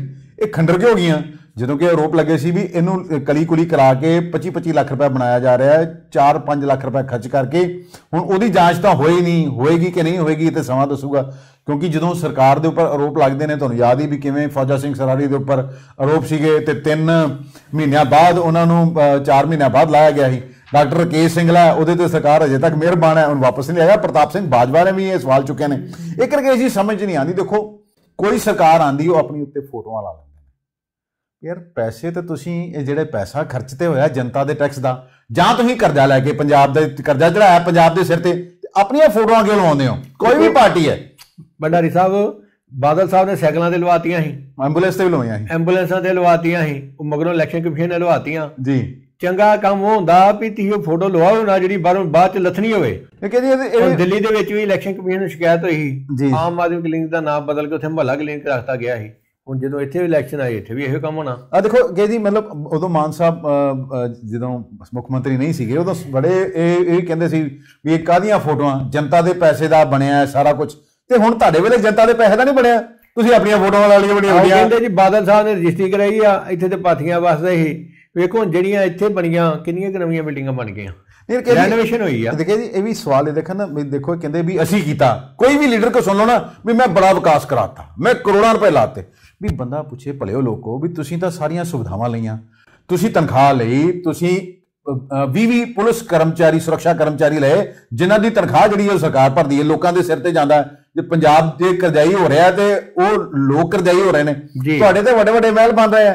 ਤੁਹਾਡੇ ਤੇ ਵੱਡੀਆਂ ਵਿਦੇਸ਼ਾਂ ਦੇ ਵਿੱਚ ਵੀ ਤੁਸੀਂ ਜਿਹੜੀ ਆਪਣੀ ਇਨਵੈਸਟਮੈਂਟ ਕੀਤੀ ਹੈ ਪੰਜ ਪੰਜ ਸੱਤ ਸੱਤ ਪੀੜ੍ਹੀਆਂ ਦੀ ਤੁਸੀਂ ਆਪਣੀ ਕਮਾਈ ਕਰ ਲਈ ਹੈ। ਵੀ ਤੇ ਫਿਰ ਇਹ ਨਹੀਂ ਸਮਝ ਆਉਂਦੀ ਵੀ ਜੇ ਤੁਸੀਂ ਸੇਵਾ ਹੀ ਕੀਤੀ ਤੇ ਪੰਜਾਬ ਕਰੋੜਾਂ ਰੁਪਏ ਦਾ ਕਰਜ਼ਾ ਕਰਜ਼ਾਈ ਕਿਵੇਂ ਹੋ ਗਿਆ? ਲੱਖਾਂ ਕਰੋੜ ਦਾ ਕਰਜ਼ਾਈ ਕਿਵੇਂ ਹੋ ਗਿਆ? ਇਹ ਤਾਂ ਉਹੀ ਗੱਲ ਹੈ ਜਿਹਦਾ ਕਿ ਗਰੀਬ ਨੂੰ ਕੰਬਲ ਦੇਣ ਜਾਂਦੇ ਜਾਂ 6 ਦੋ ਕੇਲੇ ਦਿੰਦੇ ਆ ਤੇ 12 ਬੰਦੇ ਫੋਟੋ ਕਰਾਉਣ ਦੇ ਹੁੰਦੇ ਆ। ਵੀ ਸਾਡਾ ਪਤਾ ਲੱਗ ਜੇ ਵੀ ਇਹ ਕੇਲਾ ਦੇ ਕੇ ਆਏ ਉਹਨੂੰ। ਮਤਲਬ ਤਹੀ ਹੈਗਾ ਵੀ ਵਧੀਆ ਕੰਮ ਕਰਨ ਦੇ ਜੇ 25 26000 27000 ਦੀ ਨੌਕਰੀ ਦੇਤੀ ਲੋਕਾਂ ਨੂੰ ਆਪੇ ਪਤਾ ਲੱਗ ਗਿਆ। ਜਦੋਂ 27000 ਬੰਦਾ ਉਹਦਾ ਰਿਸ਼ਤੇਦਾਰ ਨੌਕਰੀ ਲੱਗੂਗਾ ਉਹ ਲੱਖਾਂ ਬੰਦਿਆਂ ਕੋਲ ਚੱਲ ਜਾਣੀ ਗੱਲ ਵੀ ਇਹਨਾਂ ਨੌਕਰੀ ਦਿੱਤੀ ਆ। ਆ ਫਿਰ ਕੀ ਕਹਿੰਦੇ ਵਧੀਆ ਕੰਮ ਹੈਗਾ ਦਿਓ ਤੇ ਜਿਹੜੇ ਤੀ ਆਂਦਿਆਂ ਕਿਹਾ ਸੀ ਵੀ ਹਰਾ ਪੈਨ ਚੱਲੂਗਾ ਕੱਚੇ ਪੱਕੇ ਕਰਨ ਤੇ। ਹਾਂ ਉਹ ਚਲਾਓ ਕੱਚੇ ਕਿੱਥੇ ਜੇ ਪੱਕੇ ਕਿਤੇ? ਹਸਪਤਾਲਾਂ ਸਾਡਿਆਂ 'ਚ ਅਜੇ ਵੀ ਠੇਕੇਦਾਰੀ ਸਿਸਟਮ ਆ। ਗਰੀਬ ਸਵੀਪਰਾਂ ਦਾ ਖੂਨ ਚੂਸਿਆ ਜਾ ਰਿਹਾ। ਜਿਹੜੇ ਆਊਟਸੋਰਸਿੰਗ ਵਾਲੇ ਉਹਨਾਂ ਦਾ ਖੂਨ ਚੂਸਿਆ ਜਾ ਰਿਹਾ। ਹੁਣ ਤਨਖਾਹਾਂ ਨਹੀਂ ਉਹਨਾਂ ਨੂੰ ਸਮੇਂ ਸਿਰ ਮਿਲ ਰਹੀਆਂ ਕਿਉਂ? ਇਹਨਾਂ ਨੇ ਜਿਹੜੇ ਯੂਜ਼ਰ ਚਾਰਜਸ ਪੈਸੇ ਖਰਚ ਕਰਨ ਦੀ ਹੈਗੀ ਇਜਾਜ਼ਤ ਉਹ ਵਾਪਸ ਲੈ ਲਈ ਸਰਕਾਰ ਨੇ। ਵੀ ਆਪਣਾ ਸ਼ੋਅ ਕਰਨਾ ਵੀ ਅਸੀਂ ਰੈਵਨਿਊ ਬਹੁਤ ਇਕੱਠਾ ਕੀਤਾ। ਉਹ ਪੈਸਾ ਚ ਚੁੱਕ ਕੇ ਇਹਨਾਂ ਸਾਰਾ ਡਿਸਪੈਂਸਰੀ ਡਿਸਪੈਂਸਰੀ ਵੈਸੇ ਰਕੇ- ਰਕੇਸ਼ ਜੀ ਇਹਨਾਂ ਜੇ ਵੈਸੇ ਵੇਖਿਆ ਜਾਵੇ ਨਾ ਇਹਨਾਂ ਦਾ ਪੈਸਾ ਲੱਗਾ ਨਹੀਂ ਡਿਸਪੈਂਸਰੀਆਂ ਤੇ ਜਿਹਦੀ ਵੀ ਜਾਂਚ ਹੋਈ ਨਾ ਕੱਲ ਨੂੰ ਜੇ ਭਗਵੰਤ ਮਾਨ ਜੀ ਨੇ ਕਰਵਾਤੀ ਇਹ ਚ ਵੀ ਘਪਲਾ ਨਿਕਲ ਆਣਾ ਰਕੇਸ਼ ਜੀ ਇਹ ਵੀ ਦੇਖ- ਠੀਕ ਹੈ ਵੀ ਤੁਸੀਂ ਵੋਟ ਮੰਗਣ ਜਾਂਦੇ ਹੋ ਹੱਥ ਜੋੜਦੇ ਹੋ ਲੋਕਾਂ ਨੂੰ ਵੀ ਸਾਨੂੰ ਵੋਟ ਪਾਓ ਅਸੀਂ ਤੁਹਾਡੀ ਸੇਵਾ ਕਰਾਂਗੇ। ਵੀ ਜਦੋਂ ਹੀ ਤੁਹਾਨੂੰ ਸੱਤਾ ਮਿਲ ਜਾਂਦੀ ਹੈ ਤੁਸੀਂ ਸੱਤਾ 'ਚ ਆ ਜਾਂਦੇ ਹੋ, ਤੁਹਾਡੀਆਂ ਅੱਖਾਂ ਮੱਥੇ ਤੇ ਲੱਗ ਜਾਂਦੀਆਂ ਯਾਰ। ਵੀ ਤੁਸੀਂ ਜਨਤਾ ਦੇ ਸੰਪਰਕ ਤੋਂ ਦੂਰ ਹੋ ਜਾਂਦੇ ਹੋ। ਅੱਜ ਕਿੰਨੇ ਲੋਕ ਨੇ? ਉਹ ਦਿਨ ਮਾਨ ਸਾਹਿਬ ਇੱਥੇ ਆਏ ਆ, ਵੀ ਅੱਗੇ ਤੇ ਪ੍ਰੈਸ ਕਾਨਫਰੰਸ ਕਰਦੇ ਸੀ, ਨਾਲ ਕੇਜਰੀਵਾਲ ਸਾਹਿਬ ਸੀਗੇ। ਆਪਣਾ ਭਾਸ਼ਣ ਦੇ ਕੇ ਚੱਲ ਗਏ। ਇਹ ਲੋਕਾਂ ਦੇ ਸਵਾਲ ਜਿਹੜੇ ਉੱਥੇ ਪੱਤਰਕਾਰ ਖੜੇ ਨੇ, ਉਹਨਾਂ ਦੇ ਸਵਾਲਾਂ ਦੇ ਜਵਾਬ ਦਿਓ। ਵੀ ਤੁਸੀਂ ਜੇ ਸਭ ਕੁਝ ਠੀਕ ਕੀਤਾ ਤੁਸੀਂ ਸਭ ਕੁਝ ਸਹੀ ਕਰੇ ਤੇ ਉਹਨਾਂ ਦੇ ਸਵਾਲਾਂ ਦੇ ਜਵਾਬ ਦੇਣ ਤੋਂ ਭੱਜਦੇ ਕਿਉਂ? ਤੁਸੀਂ ਇਹ ਤਾਂ ਹੈਗਾ ਵੀ ਆਪਣੀ ਵੀਡੀਓ ਰਿਕਾਰਡ ਕੀਤੀ ਤੇ ਪਾ ਦਿਓ। ਤੁਸੀਂ ਦੇਖਿਆ ਕਿਸ ਤਰ੍ਹਾਂ ਉਹ ਬੰਦਾ ਬੋਲਿਆ ਤੇ ਕਿਸ ਤਰ੍ਹਾਂ ਉਹਦਾ ਮੂੰਹ ਜਿਹੜਾ ਦਬਾਉਣ ਦੀ ਕੋਸ਼ਿਸ਼ ਕੀਤੀ। ਵਡਾਰੀ ਸਾਹਿਬ ਜਦੋਂ ਆਮ ਆਦਮੀ ਪਾਰਟੀ ਸ਼ੁਰੂ ਹੋਈ ਇਹ ਆਮ ਜਨਤਾ ਦੇ ਵਿੱਚ ਬਹਿ ਕੇ ਫੈਸਲੇ ਲੈਂਦੇ ਸੀ ਇਹ। ਦਿੱਲੀ ਆਮ ਬੰਦੇ ਨੂੰ ਦਿੱਲੀ ਦੇ ਵਿੱਚ ਮਿਲਦੇ ਸੀ। ਇੱਕ ਦੋ ਵਾਰੀ ਚਪੇੜਾਂ ਵੀ ਕੇਜਰੀਵਾਲ ਸਾਹਿਬ ਨੂੰ ਵੱਜੀਆਂ। ਪਰ ਇਹਨਾਂ ਕੋਈ ਪਰਵਾਹ ਨਹੀਂ ਕੀਤੀ ਵਧੇ ਗਏ ਤੇ ਉਹਦਾ ਇਹਨਾਂ ਨੂੰ ਫਲ ਮਿਲਿਆ। ਕਿ ਉੱਥੇ ਲਗਾਤਾਰ ਤਿੰਨ ਸਰਕਾਰ ਬਣ ਗਈ। ਇਹਨਾਂ ਦੇ ਐਮਪੀ ਵੀ ਚੁਣਨ ਵਾਲਾ ਚੁਣਨ ਜਾਣ ਲੱਪੇ ਜੀ ਜੀ। ਇਹਨਾਂ ਦੀ ਅਗਲੀ ਸਟੇਟਾਂ 'ਚ ਸਰਕਾਰ ਬਣਨੀ ਸ਼ੁਰੂ ਹੋ ਗਈ ਪੰਜਾਬ 'ਚ ਵੀ ਬਣ ਗਈ। ਜੀ। ਹੁਣ ਵੇਖੋ ਜਿਉਂ ਜਿਉਂ ਇਹ ਲੋਕਾਂ ਕੋ ਪਛਾਣ ਡੰਡੇ ਆ ਹੁਣ ਤੁਸੀਂ ਆ ਸਾਡੇ ਹਲਕੇ ਦੇ ਐਮਐਲਏ ਆ ਪੂਰਵੀ ਦੇ ਉਹਨਾਂ ਨੂੰ ਮਿਲਣਾ ਹੀ ਨਹੀਂ ਸੌਖਾ। ਮੈਂ ਅਜੇ ਤੱਕ ਨਹੀਂ ਉਹਨਾਂ ਦੇ ਦਰਸ਼ਨ ਕੀਤੇ ਮੈਂ ਪੂਰਵੀ ਦਾ ਮਤਲਬ। ਵੀਆਈਪੀ ਕਲਚਰ ਇਹਨਾਂ ਦੀ ਆ ਗਿਆ। ਕਲਚਰ ਵੀਏਪੀ ਕਲਚਰ ਆ ਗਿਆ। ਦੇਖੋ ਜਦੋਂ ਉੱਥੇ ਆਇਆ ਆਮ ਆਦਮੀ ਕਲੀਨ ਦਾ ਉਦਘਾਟਨ ਕਰਨ ਆਈ ਦੱਸਿਆ ਇਹਨਾਂ ਪ੍ਰੈਸ ਨੂੰ ਇੱਕ ਸ਼ਿਕੰਜੇ ਜਿਹੇ ਚ ਬੰਨਤਾ। ਪੁਲਿਸ ਵਾਲੇ ਦੁਆਰੇ ਖਾਲਤੀ ਵੀ ਚਾਹ ਵੀ ਇਹ ਸਵਾਲ ਨਹੀਂ ਪੁੱਛਣੇ। ਜੇ ਉਹਨਾਂ ਪੁੱਛਣੇ ਹੀ ਵੀ ਦੱਸੋ ਜੀ ਕਿੱਥੇ ਪਏ ਹੈ ਡਾਕਟਰ ਕਿੱਥੋਂ ਆਣਗੇ? ਕੋਈ ਡਾਕਟਰ ਨਵਾਂ ਥੋੜਾ ਇਹਨਾਂ ਭਰਤੀ ਕੀਤਾ। ਫਾਰਮਾਸਿਸਟ ਜਿਹੜੇ ਆ ਰੂਰਲ ਡਿਸਪੈਂਸਰੀਆਂ ਚੋਂ ਕੇ ਇੱਥੇ ਲਾਤੇ ਉੱਥੇ ਬੰਦ ਹੋ ਗਿਆ। ਫਿਰ ਬਾਦਲ ਸਾਹਿਬ ਦਾ ਤੇ ਸੀ ਨਾ ਵੀ ਸੰਗਤ ਦਰਸ਼ਨ ਕਰਦੇ ਸੀਗੇ ਉਹ ਠੀਕ ਕਹਿੰਦੇ ਨੇ ਵੀ ਪੱਤਰਕਾਰਾਂ ਦੇ ਸਵਾਲਾਂ ਦੇ ਜਵਾਬ ਵੀ ਦਿੰਦੇ ਸੀ। ਭਾਵੇਂ ਚਲੋ ਜੋ ਪਲਾਨ ਕੀਤਾ ਸੀ। ਵੀ ਦਿੰਦੇ ਸੀ। ਕੈਪਟਨ ਸਾਹਿਬ ਘੱਟ ਹੀ ਮਿਲਦੇ ਸੀ ਕੇ ਜੀ। ਚਲੋ ਕੈਪਟਨ ਨਹੀਂ ਮਿਲਦੇ ਤੇ ਮੰਤਰੀ ਤੇ ਮਿਲ ਲੈਂਦੇ ਸੀ ਇੱਥੇ ਤੇ ਮੰਤਰੀ ਵੀ ਕੋਈ ਨਹੀਂ ਮਿਲਦਾ। ਨਹੀਂ, ਚਲੋ ਸਾਡੀ ਤੇ ਇਹ ਹੀ ਹੈ ਵੀ ਅਸੀਂ ਤੇ ਲੋਕਾਂ ਦੀ ਜੋ ਲੋਕ ਕਹਿੰਦੇ ਨੇ ਅਸੀਂ ਉਹ ਤੁਹਾਡੇ ਸਾਹਮਣੇ ਰੱਖ ਰਹੇ ਹਾਂ। ਬਾਕੀ ਇਹ ਵੀ ਕੰਮ ਭ੍ਰਸ਼ਟਾਚਾਰ ਦੇ ਵਿਰੁੱਧ ਬਹੁਤ ਵਧੀਆ ਕੰਮ ਕਰ ਰਹੇ ਆ। ਮੰਤਰੀ ਅਜੇ ਤੱਕ ਇਹਨਾਂ ਦੇ ਭ੍ਰਿਸ਼ਟ ਨਹੀਂ ਹੈਗੇ। ਜਿਹੜਾ ਜੇ ਕੋਈ ਮਾੜਾ ਮੋਟਾ ਰੋਪ ਲੱਗਦਾ ਉਹਨੂੰ ਝਟਕਾ ਦਿੰਦੇ ਆ ਇਹ। ਇਹ ਕੰਮ ਵਧੀਆ ਕਰਨ ਦੇ ਉਹ ਨਹੀਂ ਵੀ ਕੈਪਟਨ ਸਾਹਿਬ ਵਾਂਗੂ ਕਹਿਣ ਵੀ ਮੈਂ ਲਿਸਟ ਦੇ ਆਇਆ ਸੋਨੀਆ ਗਾਂਧੀ ਨੂੰ। 40 ਫਾਈਲਾਂ ਦੇ ਸੋਨੀਆ ਗਾਂਧੀ ਨੇ ਐਕਸ਼ਨ ਕੋਈ ਨਹੀਂ ਲਿਆ ਤੇ ਮੁੱਖ ਮੰਤਰੀ ਤੀਹੀ ਕਿ ਸੋਨੀਆ ਗਾਂਧੀ? ਸੀ ਇਹਨਾਂ ਨੂੰ ਹਿੱਸਾ ਪਹੁੰਚ ਜਾਂਦਾ ਹੋਣਾ ਨਾ ਉਦੋਂ। ਤੇ ਕਿ ਜੀ ਵੈਸੇ ਤਾਂ ਹੁਣ ਚਰਚਾ ਚੱਲ ਰਹੀ ਉਹਨਾਂ ਨੂੰ ਮਹਾਰਾਸ਼ਟਰ ਦਾ ਗਵਰਨਰ ਬਣਾਇਆ ਜਾਣਾ ਕਿਉਂਕਿ ਉੱਥੇ ਦੇ ਕੁਸ਼ਿਆਰੀ ਜਿਹੜੇ ਗਵਰਨਰ ਸਾਹਿਬ ਉਹਨਾਂ ਨੇ ਕਹਿਤਾ ਵੀ ਮੈਂ ਹੁਣ ਕੰਮ ਨਹੀਂ ਕਰ ਸਕਦਾ। ਹੁਣ ਤੇ ਸਮਾਂ ਹੀ ਦੱਸੂਗਾ। ਜਦੋਂ ਵੈਸੇ ਕੈਪਟਨ ਸਾਹਿਬ ਬੀਜੇਪੀ ਚ ਆਏ ਸੀ ਤੇ ਮਨਪ੍ਰੀਤ ਬਾਦਲ ਗਏ ਨਾ ਤੇ ਉਦੋਂ ਕਹਿਣ ਲੱਗ ਪਏ ਲੋਕ ਕਹਿਣ ਲੱਗ ਪਏ ਸੀ ਮੁੱਖ ਮੰਤਰੀ ਉਹਨਾਂ ਕੋਲ ਚੱਲ ਗਏ। ਉਹਨਾਂ ਦੇ ਖਜ਼ਾਨਾ ਮੰਤਰੀ ਵੀ ਆ ਗਏ। ਤੇ ਹੋਰ ਵੀ ਕਈ ਮੰਤਰੀ ਆ ਗਏ ਨੇ ਵੀ ਇਹਨਾਂ ਦੀ ਕੈਬਨਿਟ ਤੇ ਪੂਰੀ ਹੋਏਗੀ। ਕਿ ਜੀ ਵਿਜੀਲੈਂਸ ਨੇ ਇੱਕ ਸਪੋਰਟਸ ਕਿਟ ਦੀ ਹੈ। ਦੇਖੋ, ਸਾਡੇ ਖਿਡਾਰੀਆਂ ਨੂੰ ਸਮਾਨ ਦੇਣਾ ਹੁੰਦਾ ਹੈ।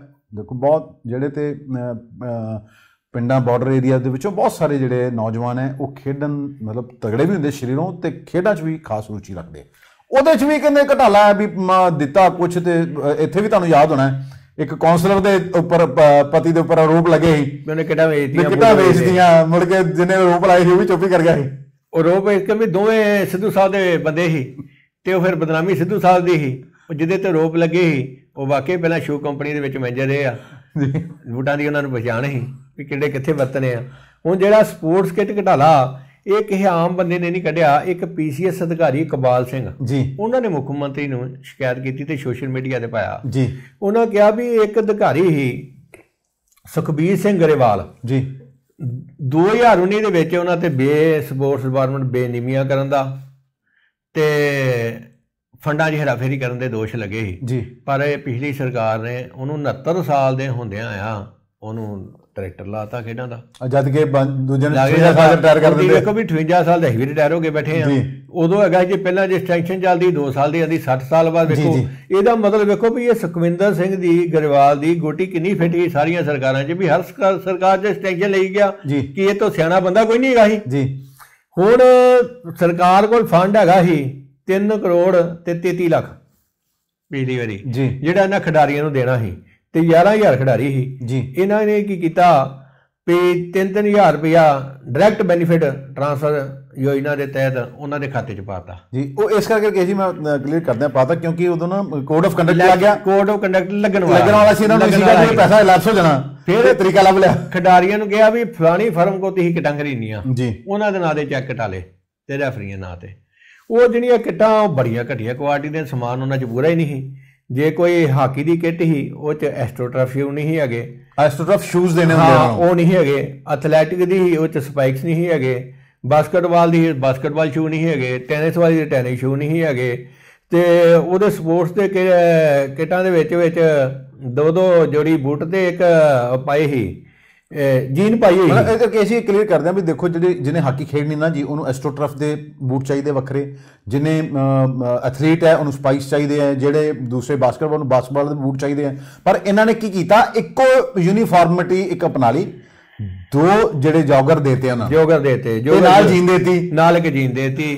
ਉਹ ਕਿੱਟਾਂ ਦੇ ਵਿੱਚ ਵੇਖੋ ਇੱਕ ਕੌਂਸਲਰ ਨੇ ਦੂਜੇ ਕੌਂਸਲਰ ਨੂੰ ਦੱਸਿਆ ਆਰੋਪ ਲਾਏ ਸੀ ਵੀ ਇਹਨੇ ਕਿੱਟਾਂ ਵੇਚ ਲੀਆਂ।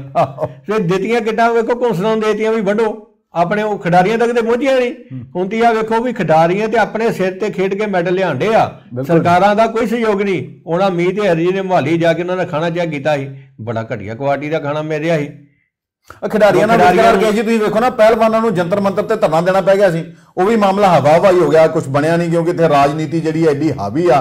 ਹੁਣ ਦੇਖੋ ਪ੍ਰਗਟ ਸਿੰਘ ਹੋਣਾ ਜਿਹੜੇ ਹਾਕੀ ਦੇ ਕਪਤਾਨ ਰਹਿ ਚੁੱਕੇ ਨੇ। ਖੇਡ ਮੰਤਰੀ ਸੀਗੇ ਵੀ ਜੇ ਉਹਨਾਂ ਦੇ ਰਹਿੰਦੇ ਘਟਾਲਾ ਹੋ ਗਿਆ ਤੇ ਜੇ ਉਹਨਾਂ ਨੇ ਮੁੱਖ ਮੰਤਰੀ ਨੂੰ ਦੱਸਿਆ ਜੇ ਨਹੀਂ ਦੱਸਿਆ ਤੇ ਸੂਈ ਉਹਨਾਂ ਵੱਲ ਵੀ ਜਾਂਦੀ ਹੈ। ਪ੍ਰਗਟ ਸਿੰਘ ਓਨੈਸਟ ਮੰਤਰੀ ਮੰਨੇ ਜਾਂਦੇ ਆ। ਜੀ। ਤੇ ਜੇ ਉਹਨਾਂ ਵੇਲੇ ਇਹ ਕੰਮ ਹੋਇਆ ਤਾਂ ਉਹਨਾਂ ਰੋਕਿਆ ਕਿਉਂ ਨਹੀਂ? ਉਹਨਾਂ ਨੇ। ਉਹਨਾਂ ਨੇ ਆਵਾਜ਼ ਕਿਉਂ ਨਹੀਂ ਠਾਈ ਇਹਦੇ ਖਿਲਾਫ? ਜੀ, ਜੀ। ਕਿਉਂ ਨਹੀਂ ਉੱਤੇ ਰੋਲਾ ਦੱਸਿਆ? ਕਿਉਂ ਨਹੀਂ ਵਿਜੀਲੈਂਸ ਕੰਪਲੇਂਟ ਕੀਤੀ? ਕਿਉਂ ਨਹੀਂ ਆਪਣਾ ਕੋਈ ਅਧਿਕਾਰੀ ਸਸਪੈਂਡ ਕੀਤਾ? ਦੇਖੇ ਭੇਜ ਦਿੰਦੇ। ਆ ਦੇਖੋ ਹੁਣ ਵਿਜੀਲੈਂਸ ਨੇ ਇਹਦੀ ਵੀ ਜਾਂਚ ਕਰਨੀ ਇਹਦਾ ਮਤਲਬ ਉਹਨਾਂ ਨੇ ਇਹ ਵੀ ਵੋਟਾਂ ਦੀ ਰਾਜਨੀਤੀ ਵੱਲ ਗਏ ਨਾ ਵੀ ਜੀ। ਕਿ ਆਪਣੇ ਬੰਦੇ ਖੁਸ਼ ਕਰ ਲਓ ਤੇ ਵੋਟ ਮਿਲ ਜਾਣ ਮੈਨੂੰ। ਕਿ ਜੀ ਇਹ ਤੇ ਇੱਥੇ ਹੀ ਇੱਕ ਐਮਐਲਏ ਤੁਹਾਨੂੰ ਦੱਸਿਆ ਵੀ ਬਲਾ ਬਲਾ ਅਫਸਰਾਂ ਨੂੰ ਕਹਿੰਦੇ ਵੀ ਫਲਾਣੇ ਦਾ ਸੈਂਪਲ ਨਹੀਂ ਜਾ ਭਰਨਾ। ਕਿਦਾਂ ਕਹਿੰਦੇ ਆ? ਰੋਟੀ ਖਾਣੀ ਤੇ ਕਹਿੰਦਾ ਵੀ ਰੋਟੀ ਮੇਰੀ ਉੱਥੇ ਫਲਾਣੀ ਕਾਰ ਨਾਲ ਖਾਣੀ ਹੈ। ਤੇ ਚਲੋ। ਇਹ ਮਤਲਬ ਵੀਆਈਪੀ ਕਲਚਰ ਆਣਾ ਸ਼ੁਰੂ ਹੋ ਗਿਆ ਨਾ ਚ ਕਰਕੇ ਜੀ ਬਿਲਕੁਲ ਆ ਗਿਆ ਜੀ ਬਿਲਕੁਲ ਆ ਗਿਆ। ਉਹਨੇ ਮੈਨੂੰ ਪੁੱਛ ਕੇ ਮੇਰੇ ਇਲਾਕੇ ਜਾਣਾ। ਵਿਜੀਲੈਂਸ ਰਕੇ ਜੀ ਹਰ ਦਿਨ ਕਿਸੇ ਨਾ ਕਿਸੇ ਨੂੰ ਗ੍ਰਿਫਤਾਰ ਦੇਖੋ ਕਰ ਰਹੇ ਵਿਜੀਲੈਂਸ ਵਾਲੇ ਸਰਕਾਰ ਅਸੀਂ ਪਹਿਲੇ ਵੀ ਗੱਲ ਕੀਤੀ ਵੀ ਸਿਰਫ ਵਿਜੀਲੈਂਸ ਦੇ ਆਲੇ ਦੁਆਲੇ ਘੁੰਮ ਰਹੀ ਹੈ। ਵਿਜੀਲੈਂਸ ਦਾ ਇੱਕ ਚੀਜ਼ ਦਿਖਾਉਣ ਨੂੰ ਆ ਵੀ ਵਿਜੀਲੈਂਸ ਡਿਪਾਰਟਮੈਂਟ ਚੰਗਾ ਕੰਮ ਕਰ ਰਿਹਾ ਹੈ। ਬਾਕੀ ਤੇ ਬਹੁਤ ਸਾਰੀਆਂ ਗੱਲਾਂ ਜਿਹੜੀਆਂ ਅਜੇ ਦੇਖੋ ਨਾ ਵਿਜੀਲੈਂਸ ਦੇ ਜਿਹੜੇ ਡੀਜੀਪੀ ਨੇ ਵਰਿੰਦਰ ਕੁਮਾਰ ਸ਼ਰਮਾ, ਉਹਨਾਂ ਨੇ ਚੀਫ ਸੈਕਟਰੀ ਨੂੰ ਲਿਖ ਕੇ ਦਿੱਤਾ ਹੈ ਵੀ ਆਈਐਸ ਨੂੰ ਗ੍ਰਿਫਤਾਰ 17 A act of prevention corruption act ਦੇ ਤਹਿਤ ਗ੍ਰਿਫਤਾਰ ਕੀਤਾ ਗਿਆ ਕਿ ਨਹੀਂ? ਚੀਫ ਸੈਕਟਰੀ ਸਾਹਿਬ ਨੇ ਉਹ ਰਿਪੋਰਟ ਦੇ ਦਿੱਤੀ ਸੀਐਮ ਭਗਵੰਤ ਮਾਨ ਉਹਨਾਂ ਨੂੰ। ਤੇ ਹਜੇ ਤੱਕ ਲੋਕਾਂ ਨੂੰ ਖਾ- ਮਤਲਬ ਇੱਥੋਂ ਤੱਕ ਸਾਨੂੰ ਤਾਂ ਨਹੀਂ ਪਤਾ ਲੱਗਿਆ ਵੀ ਉਹ ਰਿਪੋਰਟ ਵਾਕਈ ਨਿਯਮਾਂ ਦੇ ਅਨੁਸਾਰ ਗ੍ਰਿਫਤਾਰ ਕੀਤਾ ਸੀ ਜਾਂ ਨਹੀਂ, ਕਿਉਂਕਿ ਉਹਨਾਂ ਨੇ ਸਾਫ਼ ਕਿਹਾ ਸੀਗਾ ਵੀ ਜੇ ਕਿਤੇ ਲੈਣ ਦੇਣ ਹੋਇਆ ਤੇ ਫਿਰ ਇਹਦੇ ਐਕਟ ਦੇ ਅੰਡਰ ਪਰਮਿਸ਼ਨ ਲੈਣ ਦੀ ਲੋੜ ਨਹੀਂ। ਜੇ ਫੋਰਜਰੀ ਹੋਈ ਹੈ ਪਰਮਿਸ਼ਨ ਲੈਣ ਦੀ ਲੋੜ ਨਹੀਂ। ਵੀ ਇਹ ਵੀ ਨਹੀਂ ਦੱਸਿਆ ਗਿਆ ਵੀ ਉਹ 125 ਪਲਾਟ ਦਿੱਤੇ ਕਿਹਨੂੰ ਆ? ਵੀ ਸਰਕਾਰ ਚ- ਕੀ ਆਈਐਸ ਅਫਸਰਾਂ ਦੇ ਦਬਾਅ ਥੱਲੇ ਆ ਗਈ ਹੈ। ਇਹ ਵੀ ਸਰਕਾਰ ਨੂੰ ਕਲੀਅਰ ਕਰਨਾ ਚਾਹੀਦਾ। ਸਰਕਾਰ ਜਿਹੜੀ ਆਈਐਸ ਦੇ ਦਬਾਅ ਥੱਲੇ ਆ ਗਈ ਉਸ ਤੋਂ ਬਾਅਦ ਹੀ ਵੇਖੋ ਨੀਲਮਾ ਜੀ ਨੂੰ ਕੋਈ ਪੁੱਛਗਿੱਛ ਵੀ ਨਹੀਂ ਕੀਤੀ ਗਈ। ਉਹਨਾਂ ਨੂੰ ਕੋਈ ਸੱਦਿਆ ਨਹੀਂ ਗਿਆ। ਉਹ ਕੇਸ ਦੀ ਬਾਤ ਤੇ ਸਰਕਾਰ ਬੋਲਿਆ ਹੀ ਕੋਈ ਨਹੀਂ। ਨਾ ਮੁੱਖ ਮੰਤਰੀ ਸਾਹਿਬ ਬੋਲੇ ਨਾ ਉਹਨਾਂ ਦਾ ਕੋਈ ਸਹਿਯੋਗੀ ਮੰਤਰੀ ਬੋਲਿਆ। ਸਹਿਯੋਗੀ ਮੰਤਰੀ ਪਹਿਲਾਂ ਵੀ ਨਹੀਂ ਬੋਲੇ। ਇਹ ਜਿਹੜੀ ਸਰਕਾਰ ਚੱਲਣ ਦੀ ਆ ਸਰਕਾਰ ਦਾ ਝੰਡਾ ਬੁਲੰਦਾ ਮੁੱਖ ਮੰਤਰੀ ਦੇ ਸਿਰ ਤੇ ਤੇ ਚੀਫ। ਡਾਇਰੈਕਟਰ ਵੀ ਲੈਣ ਦੇ ਸਿਰ ਤੇ। ਇਹਨਾਂ ਦੇ ਤੁਸੀਂ ਵੇਖੋ ਮੰਤਰੀ ਆਪਾਂ ਸਿਹਤ ਮੰਤਰੀ ਨੂੰ ਫੋਨ ਕਰਦੇ ਹਾਂ ਫੋਨ ਹੀ ਚੁੱਕਦੇ। ਆ ਚਲੋ ਕਹੀ ਇੱਕ ਫਿਰ ਵੀਆਈਪੀ ਕਲਚਰ ਨਹੀਂ ਤੇ ਹੋਰ ਕੀ ਆ? ਉਹ ਚਲੋ ਡਾਕਟਰ ਨੇ ਨਾ ਜੀ ਬਿਜ਼ੀ ਬੜੇ ਹੁੰਦੇ ਆ ਤੇ ਕਹਿੰਦੇ ਵੀ ਸੁਣ ਲਿਆ ਕਰੋ ਫੋਨ ਬਈ ਕਿਉਂਕਿ ਉਸ ਬੰਦੇ ਨੂੰ ਦਿਓ। ਉਹੀ ਦੱਸਣੀ ਨਾ ਜੇ ਤੁਹਾਨੂੰ ਵੀ ਜਿਹੜਾ ਵੀ ਹੋ ਕੀ ਰਿਹਾ ਵੀ ਤੁਹਾਡੀ ਕੋਈ ਗਲਤ ਕੰਮ ਹੋ ਰਿਹਾ ਤੇ ਕਿਹਨੂੰ ਦੱਸਾਂਗੇ? ਮੰਤਰੀ ਨੂੰ ਦੱਸਾਂਗੇ ਜਾਂ ਅਫਸਰ ਨੂੰ ਦੱਸਾਂਗੇ? ਅਫਸਰ ਤੇ ਪਹਿਲੇ ਨਾਲ ਲੜੇ ਆ। ਇਹ ਆਰੋਪ ਲੱਗਦੇ ਆ ਕੌਣ ਨਹੀਂ ਜਾਣਦਾ। ਜੇ ਕੱਟਰ ਇਮਾਨਦਾਰ ਜੇ ਤੇ ਪ੍ਰੈਸ ਕੋਲੋਂ ਲੋਕੇ ਕਿਉਂ ਲੰਘਦੇ ਜੇ। ਇਹਨਾਂ ਦੀ ਕੋਸ਼ਿਸ਼ ਹੁੰਦੀ ਪ੍ਰੈਸ ਨੂੰ ਵਾਈਡ ਕਰ ਦਿਓ। ਪ੍ਰੈਸ ਕੋਈ ਸਵਾਲ ਨਾ ਪੁੱਛ ਲਵੇ। ਇਹਦਾ ਮਤਲਬ ਨਹੀਂ ਕੋਈ ਗਲਤ ਮਤ ਕਰਨ ਦੇ ਇਹ ਸਵਾਲ ਨਾ ਪੁੱਛ ਲਵੇ। ਹੁਣ ਜੀ- ਭਗਵੰਤ ਮਾਨ ਨਹੀਂ ਜਵਾਬ ਦਿੰਦੇ ਨਾ ਇੱਥੇ ਆਮ ਆਮ ਪਬਲਿਕ ਤੇ ਚਲੋ ਉਧਰ ਕੇਜਰੀਵਾਲ ਸਾਹਿਬ ਆਏ ਨਹੀਂ ਬੋਲੇ। ਆਮ ਜਨਤਾ ਚ ਦੇ ਦਿੰਦੇ ਹੋਈ। ਹੁਣ ਹੁਣ ਭਗਵੰਤ ਮਾਨ ਸਾਹਿਬ ਵੀ ਤਾਂ ਥੋੜਾ 20 42 ਗੱਡੀਆਂ ਦਾ ਕਾਫਲਾ ਜਦੋਂ ਹੁੰਦਾ ਤੇ ਫਿਰ ਲੋਕਾਂ ਨੂੰ ਧੱਕੇ ਤੇ ਜਦੋਂ ਮਾਰਨਾ ਹੀ ਹੈ ਠੀਕ ਹੈ ਜੀ ਬੀਡੀਪੀਓ ਜਿਹੜਾ ਉਹ ਜਿਹੜਾ ਗ੍ਰਿਫਤਾਰ ਕੀਤਾ ਤੇ ਇੱਕ ਪਟਵਾਰੀ ਨੂੰ ਵੀ ਵਿਜੀਲੈਂਸ ਨੇ ਗ੍ਰਿਫਤਾਰ ਕੀਤਾ ਹੈ। ਹਾਂਜੀ ਇਹ ਵੀਡੀਓ ਪੀਓ ਸਾਹਿਬ ਹੈਗੇ ਆ ਲੁਧਿਆਣੇ ਦੇ ਸ਼ੋਕ ਕੁਮਾਰ ਜੀ। ਸਰਪੰਚ ਹੀ ਇੱਕ ਲਖਵੀਰ ਸਿੰਘ ਬੋਪਾਰਾ ਇਹ ਕਲਾਂ ਲੁਧਿਆਣਾ ਦੇ। ਉਹਨਾਂ ਨੇ ਉਹ ਲੈਣਾ ਸੀ ਗ੍ਰਾਂਟ ਲੈਣੀ ਸੀ ਸਰਟੀਫਿਕੇਟ ਲੈਣਾ ਸੀ ਕੰਪਲੀਸ਼ਨ ਦਾ ਕੰਮ ਦਾ ਤੇ ਗ੍ਰਾਂਟ ਲੈਣੀ ਸੀ ਉਹਦੇ ਬਦਲੇ ਇਹ ਉਹਨਾਂ ਕੋਲੋਂ ਕੰਪਲੀਸ਼ਨ ਸਰਟੀਫਿਕੇਟ ਕੰਪਲੀਸ਼ਨ ਸਰਟੀਫਿਕੇਟ 50000 ਰੁਪਇਆ ਰਿਸ਼ਵਤ ਮੰਗ ਰਹੇ। ਸੀ ਸਰਟੀਫਿਕੇਟ ਤਾਂ ਦੇਣਾ ਵੇਲੇ 50000 ਦੇ। ਉਹਨਾਂ ਨੇ ਜਾ ਕੇ ਫਿਰ ਵਿਜੀਲੈਂਸ ਜਾਂ ਤੇ ਸਰਪੰਚ ਸਾਹਿਬ ਨੇ 5 ਲੱਖ ਕਰਨਾ ਹੁੰਦਾ ਫਿਰ ਤੈਨੂੰ 50000 ਦੇ ਦਿੰਦੇ। ਉਹ ਸਰਪੰਚ ਸਾਹਿਬ ਨੇ ਫਿਰ ਕੀਤਾ ਵਿਜੀਲੈਂਸ ਫਿਰ ਵਿਜੀਲੈਂਸ ਨੇ ਟੈਬ ਲਗਾ ਕੇ ਲਿਆ ਫੜ। ਮੈਂ ਵੇਖਿਆ ਵੀ ਇੰਨੇ ਬੰਦੇ ਵਿਜੀਲੈਂਸ ਫੜਨ ਦੇ ਜੇ ਪਰ ਕਿਸੇ ਵੀ ਮਹਿਕਮੇ ਚੋਂ ਭ੍ਰਸ਼ਟਾਚਾਰ ਨਹੀਂ ਜੇ ਮੁਕਿਆ ਜਿਹੜੇ ਭ੍ਰਸ਼ਟਾਚਾਰੀ ਬੰਦੇ ਜੇ ਉਹਦੇ ਤੁਰੇ ਹੀ ਫਿਰਦੇ ਜੇ ਗਾਹਕ ਲੱਭਣ ਨੂੰ। ਉਹ ਗਾਹਕ ਵੀ ਪ੍ਰਾਈਵੇਟ ਬੰਦੇ ਲੱਭੇ ਜਾਂਦੇ ਆ। ਹੁਣ ਜਿੱਦਾਂ ਤੀ ਕੀਤੀ ਪਟਵਾਰੀ ਸਾਹਿਬ ਦੀ ਗੱਲ ਹੁਣ ਜਿਹੜੇ ਪਟਵਾਰੀ ਫੜੇ ਇਹ ਕਬੂਰਥਲੇ ਦੇ ਆ ਇਹ ਪਟਵਾਰੀ ਦਾ ਨਾਮ ਹੈਗਾ ਸੋਢੀ ਸਿੰਘ ਤੇ ਇਹਨਾਂ ਦੇ ਨਾਲ ਇਹਨਾਂ ਦਾ ਇੱਕ ਕਰਿੰਦਾ ਫੜਿਆ ਗਿਆ ਕੁਲਵਿੰਦਰ ਕੁਮਾਰ। ਜੀ। ਹੁਣ ਇਹਨਾਂ ਨਵੇਂ ਕੰਮ ਫੜ ਲਿਆ ਵੀ ਗੂਗਲ ਪੇ ਕਰਾਉਣ ਲੱਗ ਪਏ ਆ ਜਾਂ ਪ੍ਰਾਈਵੇਟ ਬੰਦਿਆਂ ਕੋ ਪੈਸੇ ਲਵਾਉਣ ਲੱਗ ਪਏ ਆ। ਮੈਂ ਵੀ ਵੇਖਿਆ ਕਈ ਅਧਿਕਾਰੀ ਕਹਿੰਦੇ ਯਾਰ ਫਲਾਣੀ ਦੁਕਾਨ ਤੇ ਫੜਾਈ ਆ ਮੇਰੇ ਫਲਾਣੇ ਕਲਾਸ ਫੋਰ ਨੂੰ ਫੜਾ ਦੀ। ਜਾਂ ਕਈਆਂ ਨੇ ਆਪਣੇ ਭਰਾ ਹੀ ਬਾਹਰ ਭਾਏ ਆਉਂਦੇ ਚਲੋ ਉਹਨੂੰ ਫੜਾ ਦੀ ਉਹ ਸਾਈਕਲ ਸਟੈਂਡ ਤੇ ਫੜਾ ਦੀ। ਮਤਲਬ ਇਦਾਂ ਦੇ ਕੰਮ ਕਰਦੇ ਆ। ਇਹ ਹੁਣ ਪਟਵਾਰੀ ਸਾਹਿਬ ਨੂੰ ਦੀ ਸ਼ਿਕਾਇਤ ਕੀਤੀ ਇੱਕ ਫਗਵਾੜਾ ਦੇ ਹੈਗੇ ਹੀ ਸ਼ਿਵਰਾਜ ਦਾ ਨਾਮ। ਉਹਨਾਂ ਨੇ ਆਪਣੇ ਪਿਤਾ ਦੇ ਨਾਂ ਦੇ ਰਜਿਸਟਰੀ ਦਾ ਇੰਤਕਾਲ ਕਰਾਉਣਾ ਸੀ ਤੇ ਪਟਵਾਰੀ ਸਾਹਿਬ ਉਹ ਕੋ 70000 ਮੰਗਦੇ ਸੀ ਸੌਦਾ 40000 ਚ ਹੋ ਗਿਆ। 40000 ਦਿੰਦਿਆਂ ਨੇ ਵਿਜੀਲੈਂਸ ਸੰਪਰਕ ਕੀਤਾ ਤੇ ਪਟਵਾਰੀ ਸਾਹਿਬ ਵੀ ਕਾਬੂ ਤੇ ਉਹਨਾਂ ਕਰਿੰਦਾ ਵੀ ਕਾਬੂ। ਹੁਣ ਇੱਥੇ ਇਹ ਗੱਲ ਦੱਸੂਗਾ ਵੀ ਫਰੀਦਕੋਟ ਦੇ deputy commissioner Ruhi doctor Ruhi Dugg ji ਨੇ ਜੀ। ਇੱਕ ਆਰਡਰ ਜਾਰੀ ਕਰਤਾ ਸਾਰੇ ਵਿਭਾਗਾਂ ਨੂੰ। ਖਾਸ ਕਰਕੇ ਆਪਣੇ ਡੀਸੀ ਉਹ ਤਹਿਸੀਲਾਂ 'ਚ ਵੀ ਕੋਈ ਵੀ ਬੰਦਾ ਪ੍ਰਾਈਵੇਟ ਕਰਿੰਦਾ ਨਹੀਂ ਪਾਊਗਾ। ਹੂੰ। ਕੋਈ ਵੀ ਬੰਦਾ ਪ੍ਰਾਈਵੇਟ ਕਰਿੰਦਾ ਨਹੀਂ ਪਾਊਗਾ ਜਿਹੜਾ ਪਾਊਗਾ ਉਹਦੇ ਖਿਲਾਫ ਸਖਤ ਐਕਸ਼ਨ ਲਿਆ ਜਾਊਗਾ। ਇੱਥੇ ਤਹਿਸੀਲ ਚੱਲਦੀ ਹਾਂ ਤੇ ਇੱਥੇ ਸਾਰੇ ਚੱਲਦਾ ਹੀ ਚੱਲਦਾ ਹੀ। ਡਿਪਟੀ ਕਮਿਸ਼ਨਰ ਹੈਗੇ ਨਾ ਉਹਨਾਂ ਨੂੰ ਰੂਹੀ ਦਰੋਗ ਨੂੰ ਫਾਲੋ ਕਰਨਾ ਚਾਹੀਦਾ। ਇਹਨਾਂ ਨੂੰ ਐਕਸ਼ਨ ਕਰਨਾ ਚਾਹੀਦਾ। ਇਹਨਾਂ ਨੇ ਕਹੇ ਜੀ ਉਹਨਾਂ ਨੂੰ ਦੂਹੀ ਦੁਗਣੀ ਕੋ ਫਾਲੋ ਕਰਨ। ਫਾਲੋ ਨਿਯਮਾਂ ਨੂੰ ਕਿਉਂ ਨਾ ਕਰਨ? ਨਿਯਮ ਹੈਗੇ ਆ ਵੀ ਸਰਕਾਰੀ ਬੰਦਾ ਪ੍ਰਾਈਵੇਟ ਬੰਦਾ ਰੱਖ ਸਕਦਾ। ਨਿਯਮ ਇਹ ਕਹਿੰਦੇ ਆ। ਚਲੋ ਜੇ ਇੱਕ ਅਧਿਕਾਰੀ ਨੇ ਚੰਗਾ ਕਦਮ ਲਿਆ ਉਹਨੂੰ ਵੇਖ ਕੇ ਚੁੱਕ ਲਓ ਸਾਰੇ। ਹੁਣ ਇੱਥੇ ਸਾਡੇ ਵੇਖੋ ਇੱਕ ਵਾਰੀ ਪ੍ਰਾਈਵੇਟ ਕਰਿੰਦਾ ਫੜਿਆ ਗਿਆ ਸੀ ਰਾਤ ਨੂੰ ਡੀ ਸਾਹਿਬ ਨੇ ਫੜ ਲਿਆ ਸੀ। ਉਹ ਮਾਫੀ ਮੁਫੀ ਮੰਗ ਕੇ ਛੁੱਟ ਛੁੱਟ ਗਿਆ ਸੀ। ਇਹੋ ਜਿਹੇ ਬੰਦਿਆਂ ਨੂੰ ਮਾਫੀ ਨਹੀਂ ਦੇਣੀ ਚਾਹੀਦੀ ਜਿਹੜੇ ਲੋਕਾਂ ਦਾ ਖੂਨ ਚੂਸਦੇ ਆ। ਉਹਦੇ ਥੱਲੇ 'ਚ ਪੈਸੇ ਵੀ ਬੜੇ ਫੜੇ ਗਏ ਸੀ ਨਾਲ। ਬਈ, ਮਾਫ਼ੀ ਕਾਗਜ਼ ਫੜੇ ਗਏ ਸੀ। ਕਾਗਜ਼ ਵੀ ਫੜੇ ਗਏ ਸੀ। ਉਹ ਜ਼ਮੀਨਾਂ ਜਮੂਨਾਂ ਦੇ ਉਹਦਾ ਕੋਈ ਰਿਸ਼ਤੇਦਾਰ ਬੜੇ ਵੱਡੇ ਕੇਸ 'ਚ ਅੰਦਰ ਵੀ ਸੀ ਆ ਵੀ ਦੇਖੋ ਵੀ ਕਿਵੇਂ ਕਿਸ ਤਰ੍ਹਾਂ ਇਹਨਾਂ ਦਾ ਰਿਕਾਰਡ ਕਿਸੇ ਬੰਦੇ ਨੂੰ ਕਿਸ ਤਰ੍ਹਾਂ ਪ੍ਰਾਈਵੇਟ ਬੰਦੇ ਨੂੰ ਫੜਾ ਦਿੱਤਾ ਜਾਂਦਾ ਹੈ। ਮੁੜ ਕੇ ਕੋਈ ਫਰਦ ਨਹੀਂ ਲੱਭਦੀ ਕਿਸੇ ਦੀ ਸਿਹਾਰੀ ਬਿਹਾਰੀ ਦਾ ਫ਼ਰਕ ਹੁੰਦਾ ਤਾਂ ਪੈਸੇ ਉਹਨੂੰ ਪਰੇਸ਼ਾਨ ਕਰਨਾ ਪੈਂਦਾ ਹੈ। ਕਿਸੇ ਦੀ ਬਿੰਦੀ ਟਿੱਪੀ ਦਾ ਫ਼ਰਕ ਹੋਵੇ ਲੱਗਦਾ ਸਾਡੇ ਦਾ ਗੱਡੀ ਦਾ ਫ਼ਰਕ ਬਾਦਾ ਤੇ ਬੜੇ ਮੁਸ਼ਕਲ ਮੈਂ ਠੀਕ ਕਰਾ ਲਿਆ ਹਾਂ ਅਰਕੇ ਜੀ ਇੱਕ ਇਹਦੇ ਨਾਲ ਹੀ ਇਹ ਸਵਾਲ ਗਮਾਡਾ ਦਾ ਇੱਕ ਈਓ ਗ੍ਰਿਫਤਾਰ ਕੀਤਾ ਹੈ ਵਿਜੀਲੈਂਸ ਨੇ ਜੀ ਉਹ ਕਹਿੰਦੇ ਵੀ ਉਹ ਤੇ ਕੁਬੇਰ ਦਾ ਖਜ਼ਾਨਾ ਉਹਦੇ ਕੋਲੋਂ ਵੀ ਪ੍ਰਾਪਰਟੀਆਂ ਤੇ ਪ੍ਰਾਪਰਟੀਆਂ ਕੁਝ ਆਪਣੇ ਨਾਂ ਤੇ ਕੁਝ ਪਰਿਵਾਰ ਦੇ ਨਾਂ ਤੇ ਕੁਝ ਬੇਨਾਮੀਆਂ। ਇਹ ਨਾ ਜਿਹੜੇ ਭ੍ਰਸ਼ਟ ਅਧਿਕਾਰੀ ਬੜੀਆਂ ਹੀ ਪ੍ਰਾਪਰਟੀਆਂ ਬਣਾਉਂਦੇ ਪਤਾ ਨਹੀਂ ਇਹਨਾਂ ਨੂੰ ਤੇ ਉਹ 6 ਫੁੱਟ ਤੋਂ ਵੱਧ ਥਾਂ ਮਿਲ ਜਾਣੀ ਜਾਂ ਇਹਨਾਂ ਕੋ ਆਪਣਾ ਮਕਬਰਾ ਬਣਾਉਣਾ ਵੱਡਾ ਸਾਰਾ। ਕਈ ਹੁੰਦੇ ਨਾ ਉਹਨਾਂ ਦੇ ਮਕਬਰਾ ਬਣਾਉਣਾ ਆਪਣਾ। ਜਿੱਦਾਂ ਤਾਜ ਮਹਿਲ ਬਣਿਆ ਵੀ ਅਸੀਂ ਵੀ ਕੋਈ ਇਹੋ ਜਿਹਾ ਕੰਮ ਕਰ ਲਈਏ। ਤੇ ਗਮਾਡਾ ਦੇ ਇਹੋ ਹੈਗੇ ਆ ਇਹ ਮਹੇਸ਼ ਬਾਂਸਲ ਜੀ। ਜੀ ਜੀ ਜੀ। ਮੋਹਾਲੀ ਦੀ ਗੱਲ ਕਰ ਰਹੇ ਹਾਂ ਅਸੀਂ ਹਾਂ ਜੀ ਮੋਹਾਲੀ ਦੇ ਗਮਾਡਾ ਦੇ। ਇਹੋ ਕੋਆਰਡੀਨੇਸ਼ਨ ਆ। ਇਹਨਾਂ ਦੇ ਮਹੇਸ਼ ਬਾਂਸਲ ਨਾਮ ਆ ਤੇ ਵਿਜੀਲੈਂਸ ਇਹਨਾਂ ਦੀ ਜਾਂਚ ਕਰ ਰਹੀ ਸੀ। ਜੀ। ਉਹ ਜਾਂਚ ਦੇ ਵਿੱਚ ਸਾਹਮਣੇ ਆਇਆ ਵੀ ਇਹਨਾਂ ਤੇ ਕਰੋੜਾਂ ਦੀਆਂ ਜਾਇਦਾਦਾਂ ਬਣਾਈਆਂ ਪ੍ਰਾਪਰਟੀਆਂ ਬਹੁਤ ਬਣਾਈਆਂ ਇਹਨਾਂ ਨੇ। ਇਹਨਾਂ ਦੇ ਰਿਹਾਇਸ਼ ਜਿਹੜੀ ਆ ਮਨੀ ਮਾਜਰੇ ਚ ਹੈਗੀ ਆ। ਇਹਨਾਂ ਰਿਹਾਇਸ਼ੀ ਕਮਰਸ਼ੀਅਲ ਇੰਡਸਟਰੀਅਲ ਪਲਾਟ ਬੜੇ ਖਰੀਦੇ ਆ। 4 ਲੱਖ ਦੀ ਕਾਰਾਂ ਜੇ ਇਹਨਾਂ ਕੋਲ। ਤੇ ਕੁਝ ਨਗਦ ਲਈਆਂ ਕੁਝ ਲੋਨ ਤੇ ਲਈਆਂ। ਇੱਕ 38 ਸੈਕਟਰ 'ਚ ਵੀ ਹੈਗੀ ਜੀ ਇਹਨਾਂ ਕੋਲ? ਹਾਂ ਸੈਕਟਰ 38 ਚ ਪਤਨੀ ਦੇ ਨਾਂ ਦੇ ਉੱਤੇ ਇੱਕ ਮਕਾਨ ਆ। 2016 ਦੇ ਵਿੱਚ ਲਿਆ ਸੀ। ਜੀਰਕਪੁਰ ਵਿੱਚ ਪਰਿਵਾਰ ਦੇ ਨਾਂ ਤੇ ਪ੍ਰਾਪਰਟੀ ਆ। ਐਰੋ ਸਿਟੀ ਆ। ਵਿੱਚ ਇੱਕ ਪਲਾਟ ਆ 1 ਕਰੋੜ ਰੁਪਏ ਦਾ ਇਹਨਾਂ ਨੇ ਲਿਆ ਅੱਧੀ ਪੇਮੈਂਟ ਉਹਦੀ ਕਰ ਵੀ ਦਿੱਤੀ ਹੋਈ ਆ। ਤੇ ਸੈਕਟਰ 82 ਵਿੱਚ 2 ਕਰੋੜ ਦੀ ਲਾਗਤ ਨਾਲ ਇੱਕ ਇੰਡਸਟਰੀਅਲ ਪਲਾਟ ਲਿਆ ਜੇ ਇਹਨਾਂ ਨੇ। ਜੀ। ਉਹਦੇ ਤੇ ਜਿਹੜਾ ਅਜੇ ਕੰਸਟਰਕਸ਼ਨ ਚੱਲ ਰਹੀ ਹੈ ਤੇ 1 ਕਰੋੜ ਉਹਦੇ ਉੱਤੇ ਲੱਗ ਵੀ ਦਿੱਤਾ। ਆਈਟੀ ਸਿਟੀ ਦੇ ਵਿੱਚ ਵੀ ਰਿਸ਼ਤੇਦਾਰਾਂ ਦੇ ਨਾਂ ਤੇ ਇੰਡਸਟਰੀਅਲ ਪਲਾਟ ਲਏ ਜੇ। ਹੋਰ ਵੀ ਬੜੀਆਂ ਸ਼ਿਕਾਇਤਾਂ ਬੈਂਕ ਖਾਤੇ ਵੀ ਇਹਨਾਂ ਦੇ ਫੁੱਲੇ ਜਾ ਰਹੇ ਆ। ਇਹ ਬੜੀਆਂ ਪ੍ਰਾਈਮ ਪੋਸਟਾਂ ਤੇ ਭਰਾਰੀ ਸਾਹਿਬ ਲੱਗੇ ਰਹੇ ਆ। 2001 ਤੋਂ 2 ਦੇ ਵਿੱਚ ਪੀਐਸਆਈਡੀਸੀ ਦੀ ਜਿਹਦੇ ਵਿੱਚ ਆ ਤੁਹਾਨੂੰ ਪਤਾ ਕਿੰਨੇ ਸੁੰਦਰ ਆ, ਅਰੋੜਾ ਸਾਹਿਬ। ਅਰੋੜਾ ਉਹ ਮੇਰਾ ਘਰ ਇੰਡਸਟਰੀਅਲ ਪਲਾਟ ਇਹਨਾਂ ਉਹਨੇ ਲਿਆ ਲਿਆ ਹੋਣਾ।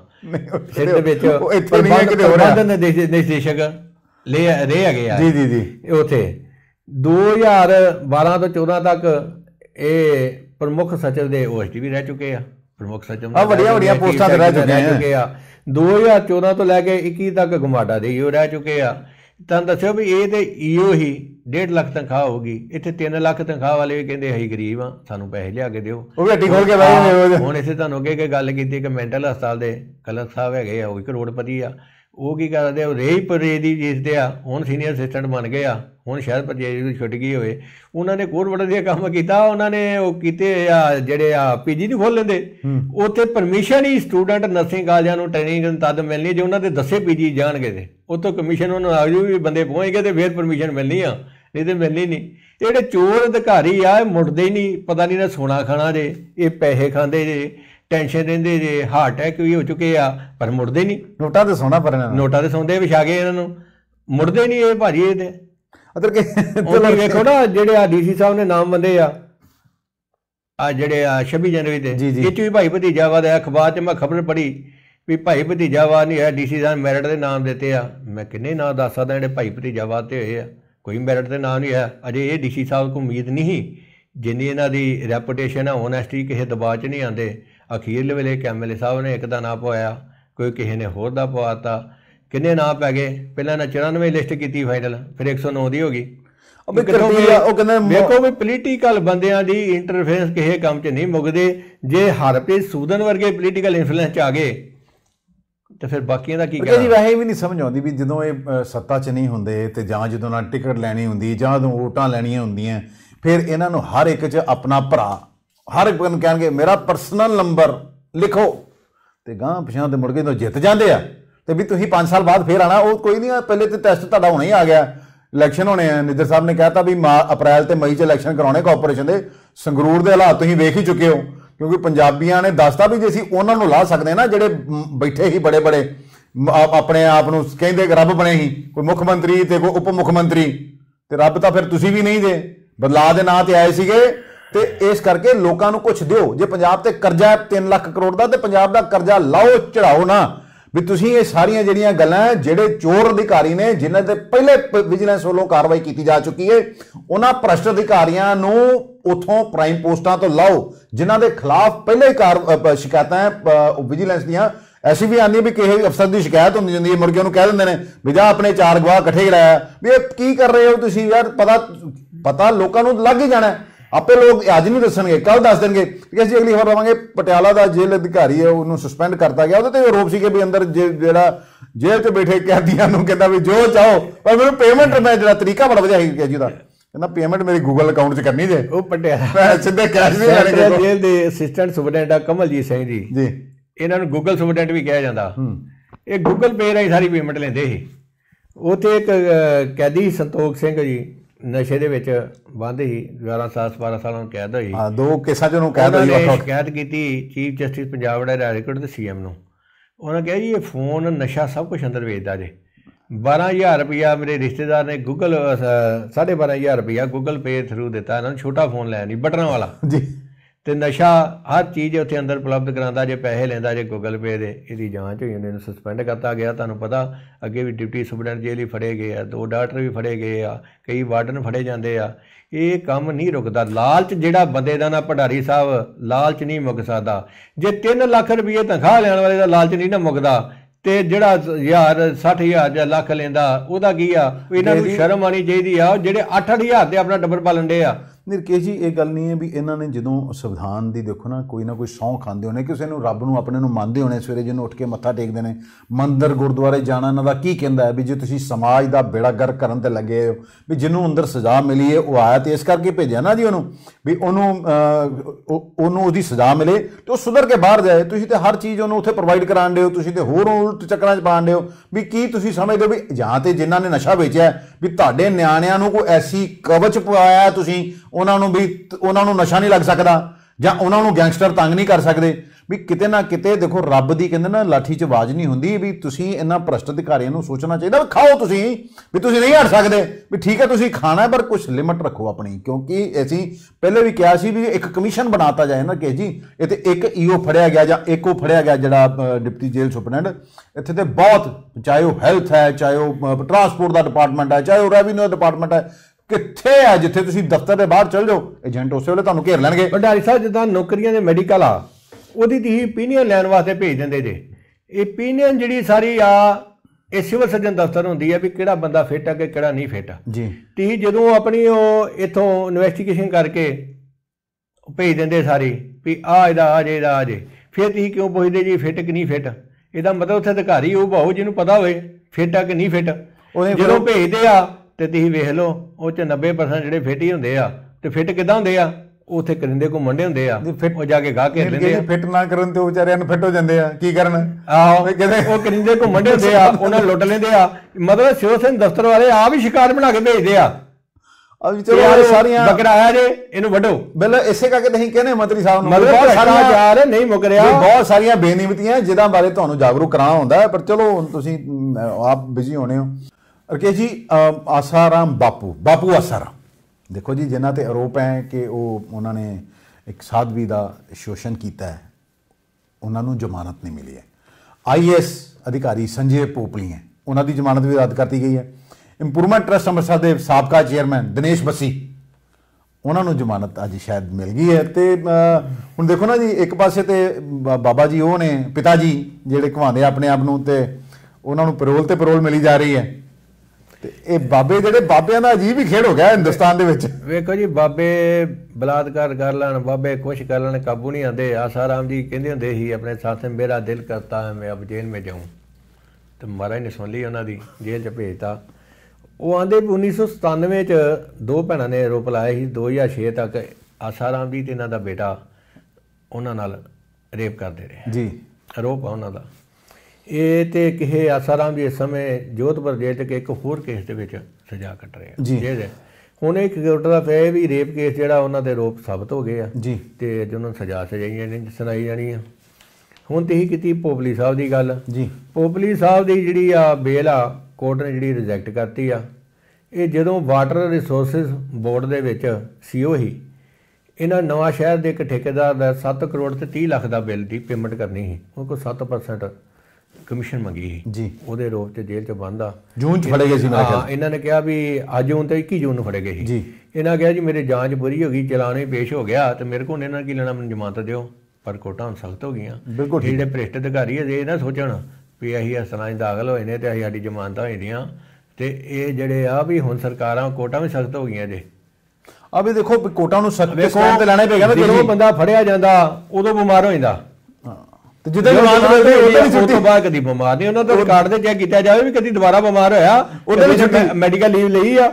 ਉਦੋਂ ਫਿਰ ਇੱਕ ਦਿਨ ਬਾਅਦ ਵੀ ਨਹੀਂ ਰਹਿੰਦੇ ਹਸਪਤਾਲ 'ਚ। ਫਿਰ ਉਦੋਂ ਵਾਪਸ ਆ ਜਾਂਦੇ ਨਾ ਜੀ ਉਹਨਾਂ ਨੂੰ ਪਤਾ ਵੀ ਆਵਾਂਗੇ ਮਾਲ ਕਮਾਵਾਂਗੇ ਦਿਹਾੜੀ ਦਾ ਨੁਕਸਾਨ ਹੁੰਦਾ ਨਹੀਂ ਤੇ। ਹੁਣ ਗੱਲ ਰਹਿ ਗਈ ਦਿਨੇਸ਼ ਬੱਸੀ ਜੀ ਦੀ ਇਹ ਵੀ ਪਿਛਲੇ 5-6 ਮਹੀਨਿਆਂ ਤੋਂ ਅੰਦਰ ਹੈ ਜੇਲ੍ਹ ਦੇ ਵਿੱਚ ਇਹਨਾਂ ਤੇ ਵੀ ਇੱਕ ਪਲਾਟ ਵੇਚਣ ਦਾ ਕੇਸ ਦਾ ਆਰੋਪ ਹੈਗਾ ਇਹਨਾਂ ਦੇ ਵਿੱਚ।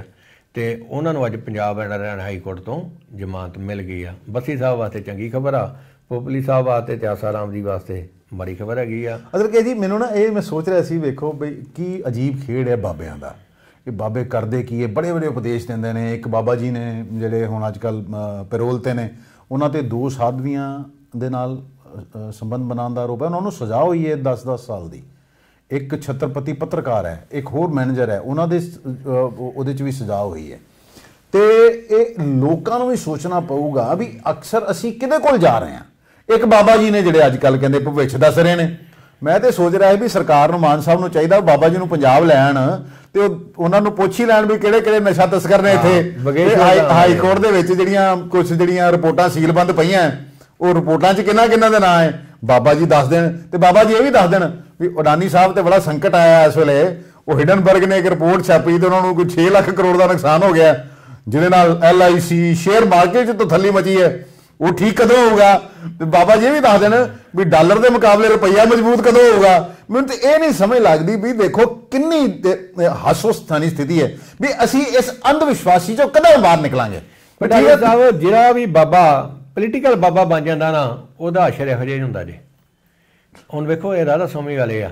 ਇਹਨਾਂ ਕੋ ਹਰ ਪੋਲੀਟੀਕਲ ਪਾਰਟੀ ਲੀਡਰ ਜਾਂਦਾ ਪਰ ਕਿਸੇ ਨੂੰ ਅਪੀਲ ਨਹੀਂ ਕਰਦੇ ਵੋਟ ਪਾਉਣ ਦੀ। ਇਹ ਬਚੇ ਆ। ਜੀ। ਜਿੱਦਨ ਇਹਨਾਂ ਨੂੰ ਵੀ ਵੋਟ ਕਿਸੇ ਪਾਉਣ ਨੂੰ ਅਪੀਲ ਕਰਤੀ ਨਾ ਇਹਨਾਂ ਦੇ ਵੀ ਇਦਾਂ ਦੇ ਕੇਸ ਬਣ ਜਾਣੇ ਜੇ। ਜਿਹੜਾ ਇਹ ਜਿਹੜੇ ਪੋਲੀਟੀਕਲ ਬੰਦੇ ਆ ਕਿਸੇ ਨੂੰ ਵੀ ਸ਼ਿਕੰਜਾ 'ਚ ਲੈ ਲੈਂਦੇ ਜੇ।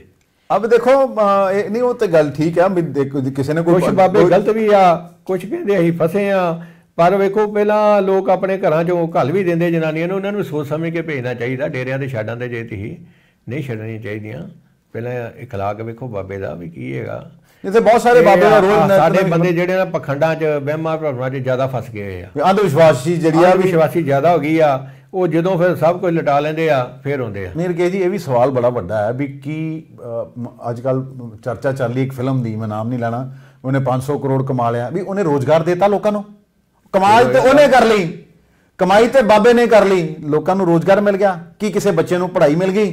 ਕੀ ਕਿਸੇ ਬੱਚੇ ਦਾ ਪੰਜਾਬ ਦੇ ਵਿੱਚ ਕੈਂਸਰ ਨਾਲ ਮਰੀਜ਼ ਮਰਨ ਡਿਆ ਪਾਣੀ ਜ਼ਰੀਲਾ ਹੋ ਗਿਆ ਉਹ ਬਾਬੇ ਉਹ ਤੁਹਾਡੇ ਕੋਲ ਇੰਨੀਆਂ ਸ਼ਕਤੀਆਂ ਤੇ ਉਹਨਾਂ ਨੂੰ ਠੀਕ ਕਰ ਦਿਓ ਹਾਂ। ਹੈਂ? ਵੀ ਤੁਸੀਂ ਬੰਦੇ ਠੀਕ ਕਰੋ, ਕੈਂਸਰ ਠੀਕ ਕਰੋ। ਤੁਸੀਂ ਕੋਈ ਲੋਕਾਂ ਦਾ ਭਲਾ ਹੋਵੇ ਤੁਹਾਡੀ ਸ਼ਕਤੀਆਂ ਜਿਹੜੀਆਂ ਪੰਜਾਬ ਦਾ ਕਰਿਆ ਲਾ ਲਿਓ ਜੁਦਾਈ ਜ- ਜ- ਤੁਹਾਡੇ ਕੋਲ ਜਿਹੜੀਆਂ ਜਾਦੂਈ ਸ਼ਕਤੀਆਂ ਨੇ ਵੀ ਉਹਨਾਂ ਦਾ ਉਪਯੋਗ ਸਦੁਪਯੋਗ ਕਰੋ ਨਾ ਜਿਹੜੇ ਲੋਕ ਆ ਵਿਚਾਰੇ ਕਰਜ਼ੇ ਥੱਲੇ ਦਬਿਆ ਪੰਜਾਬ ਕਰਜ਼ੇ ਥੱਲੇ ਆ ਬਾਹਰ ਵਿਦੇਸ਼ਾਂ ਨੂੰ ਨੌਜਵਾਨ ਭੱਜ ਰਿਹਾ ਬਜ਼ੁਰਗ ਇੱਥੇ ਰਹਿ ਰਹੇ ਇਹਨਾਂ ਦਾ ਉਦਾਨ ਕਰਕੇ ਜੀ ਖਬਰ ਹੋਰ ਲਵਾਂਗੇ ਡਾਕਟਰ ਦੇ ਨਾਲ ਇੱਕ ਜਿਹੜੀ ਦੁੱਖ ਭਰੀ ਜਿਹੜੀ ਘਟਨਾ ਹੋਈ ਹੈ, ਜਿਹਦਾ ਨਾ ਸਾਨੂੰ ਜਿਹਦਾ ਬਹੁਤ ਦੁੱਖ ਵੀ ਹੈ, ਵੀ ਡਾਕਟਰ ਨਾਲ, ਡਾਕਟਰ ਦਾ ਕੰਮ ਤੇ ਤੁਸੀਂ ਆਉਂਦੇ ਹੋ, ਪਹਿਲੇ ਜਾਂਦੇ ਹੋ ਹਸਪਤਾਲ ਦੇ ਵਿੱਚ, ਸੱਟ ਲੱਗਦੀ ਹੈ। ਤੇ ਜਦੋਂ ਡਾਕਟਰ ਇਲਾਜ ਕਰਨ ਵਾਲਾ ਡਾਕਟਰ ਆ, ਯਾਰ ਤੁਸੀਂ ਉਹਦੇ ਨਾਲ ਹੀ ਮਾਰਪੀਟ ਕਰਨੀ ਸ਼ੁਰੂ ਕਰ ਦਿੰਦੇ ਹੋ ਵੀ ਕੁਝ ਸ਼ਰਮ ਕਰੋ, ਵੀ ਜੇ ਤੁਸੀਂ ਵਾਕਈ ਤੁਸੀਂ ਆਪਣੀ ਕੋਈ ਤਾਕਤ ਵਿਖਾਣੀ ਹੈ, ਤੇ ਬਹੁਤ ਸਾਰੀਆਂ ਕੁਸ਼ਤੀਆਂ ਹੁੰਦੀਆਂ, ਬਹੁਤ ਸਾਰੇ ਦੰਗਲ ਹੁੰਦੇ ਨੇ, ਜਾਓ ਨਾ ਉੱਥੇ ਦਿਖਾਓ। ਵੀ 8-8 10-10 ਜਾਣੇ ਤੁਸੀਂ ਇੱਕ ਤੁਹਾਨੂੰ ਸ਼ਰਮ ਨਹੀਂ ਆਉਂਦੀ ਕਿ ਇੱਕ ਨਿਹੱਥੇ ਉਸ ਡਾਕਟਰ ਦੇ ਗੱਲ ਪੈ ਜਾਂਦੇ ਹੋ ਜਿਹੜਾ ਮਰੀਜ਼ਾਂ ਦਾ ਇਲਾਜ ਕਰ ਰਿਹਾ? ਇਹ ਬਹੁਤ ਮੰਦਭਾਗੀ ਘਟਨਾ ਇੱਥੇ ਸਾਡੇ ਸਿਵਲ ਹਸਪਤਾਲ ਸੱਚ ਵੀ ਕਈ ਵਾਰੀ ਹੋਈ ਆ ਅਸੀਂ ਸਟ੍ਰਾਈਕ ਵੀ ਕੀਤੀ। ਜੀ। ਉਦੋਂ ਪੁਲਿਸ ਗਰਦ ਲਾ ਦਿੰਦੀ 10 ਬੰਦਿਆਂ ਦੀ ਮਗਰੋਂ ਨੋਦੀ ਕਰ ਦਿੰਦੀ 4 ਬੰਦਿਆਂ ਦੀ। ਇਹ ਪੁਲਿਸ ਵਾਲਿਆਂ ਨੂੰ ਬੜੀ ਵਾਰੀ ਕਿਹਾ ਪੁਲਿਸ ਅਫਸਰ ਨੂੰ ਰਿਕੁਐਸਟ ਕੀਤੀ ਵੀ ਸਿਕਿਉਰਿਟੀ ਲਾਓ। ਡਾਕਟਰਾਂ ਨੂੰ ਕੋਈ ਸਿਕਿਉਰਿਟੀ ਜਿਹੜਾ ਮਰਜ਼ੀ ਆ ਕੇ ਕੁੱਟ ਜੇ। ਜਿਹੜਾ ਮਰਜ਼ੀ ਆ ਕੇ ਸ਼ੀਸ਼ੇ ਤੋੜ ਜੇ ਜਿਹੜਾ ਮਰਜ਼ੀ ਆ ਕੇ ਗਾਲਾਂ ਕੱਢ ਜੇ ਇਹ ਸਭ ਤੋਂ ਸੌਖਾ ਟਾਰਗੇਟ ਹੈਗਾ ਵੀ ਡਾਕਟਰ ਤੇ ਹਸਪਤਾਲ ਦੇ ਮੁਲਾਜ਼ਮਾਂ ਨੂੰ ਮਾਰੋ ਗਾਲਾਂ ਕੱਢ ਦਿਓ ਰੋਪ ਲਾ ਦਿਓ ਪੈਸੇ ਮੰਗਦੇ ਸੀ। ਉਹਨੇ ਘਟਨਾ ਹੈਗੀ ਰਜਿੰਦਰਾ ਹਸਪਤਾਲ ਦੀ। ਜੀ, ਪਟਿਆਲੇ। ਤੇ ਹਾਂਜੀ ਸੀਨੀਅਰ ਰੈਜ਼ੀਡੈਂਟ ਹੀ ਡਾਕਟਰ ਰੋਵਰਿੰਦਰ ਸਿੰਘ। ਉਹ ਆਪਣੀ ਡਿਊਟੀ ਤੇ ਬੈਠੇ ਸੀ। ਇਹ 29 ਜਨਵਰੀ ਰਾਤ ਦੀ ਗੱਲ ਆ। ਜੀ।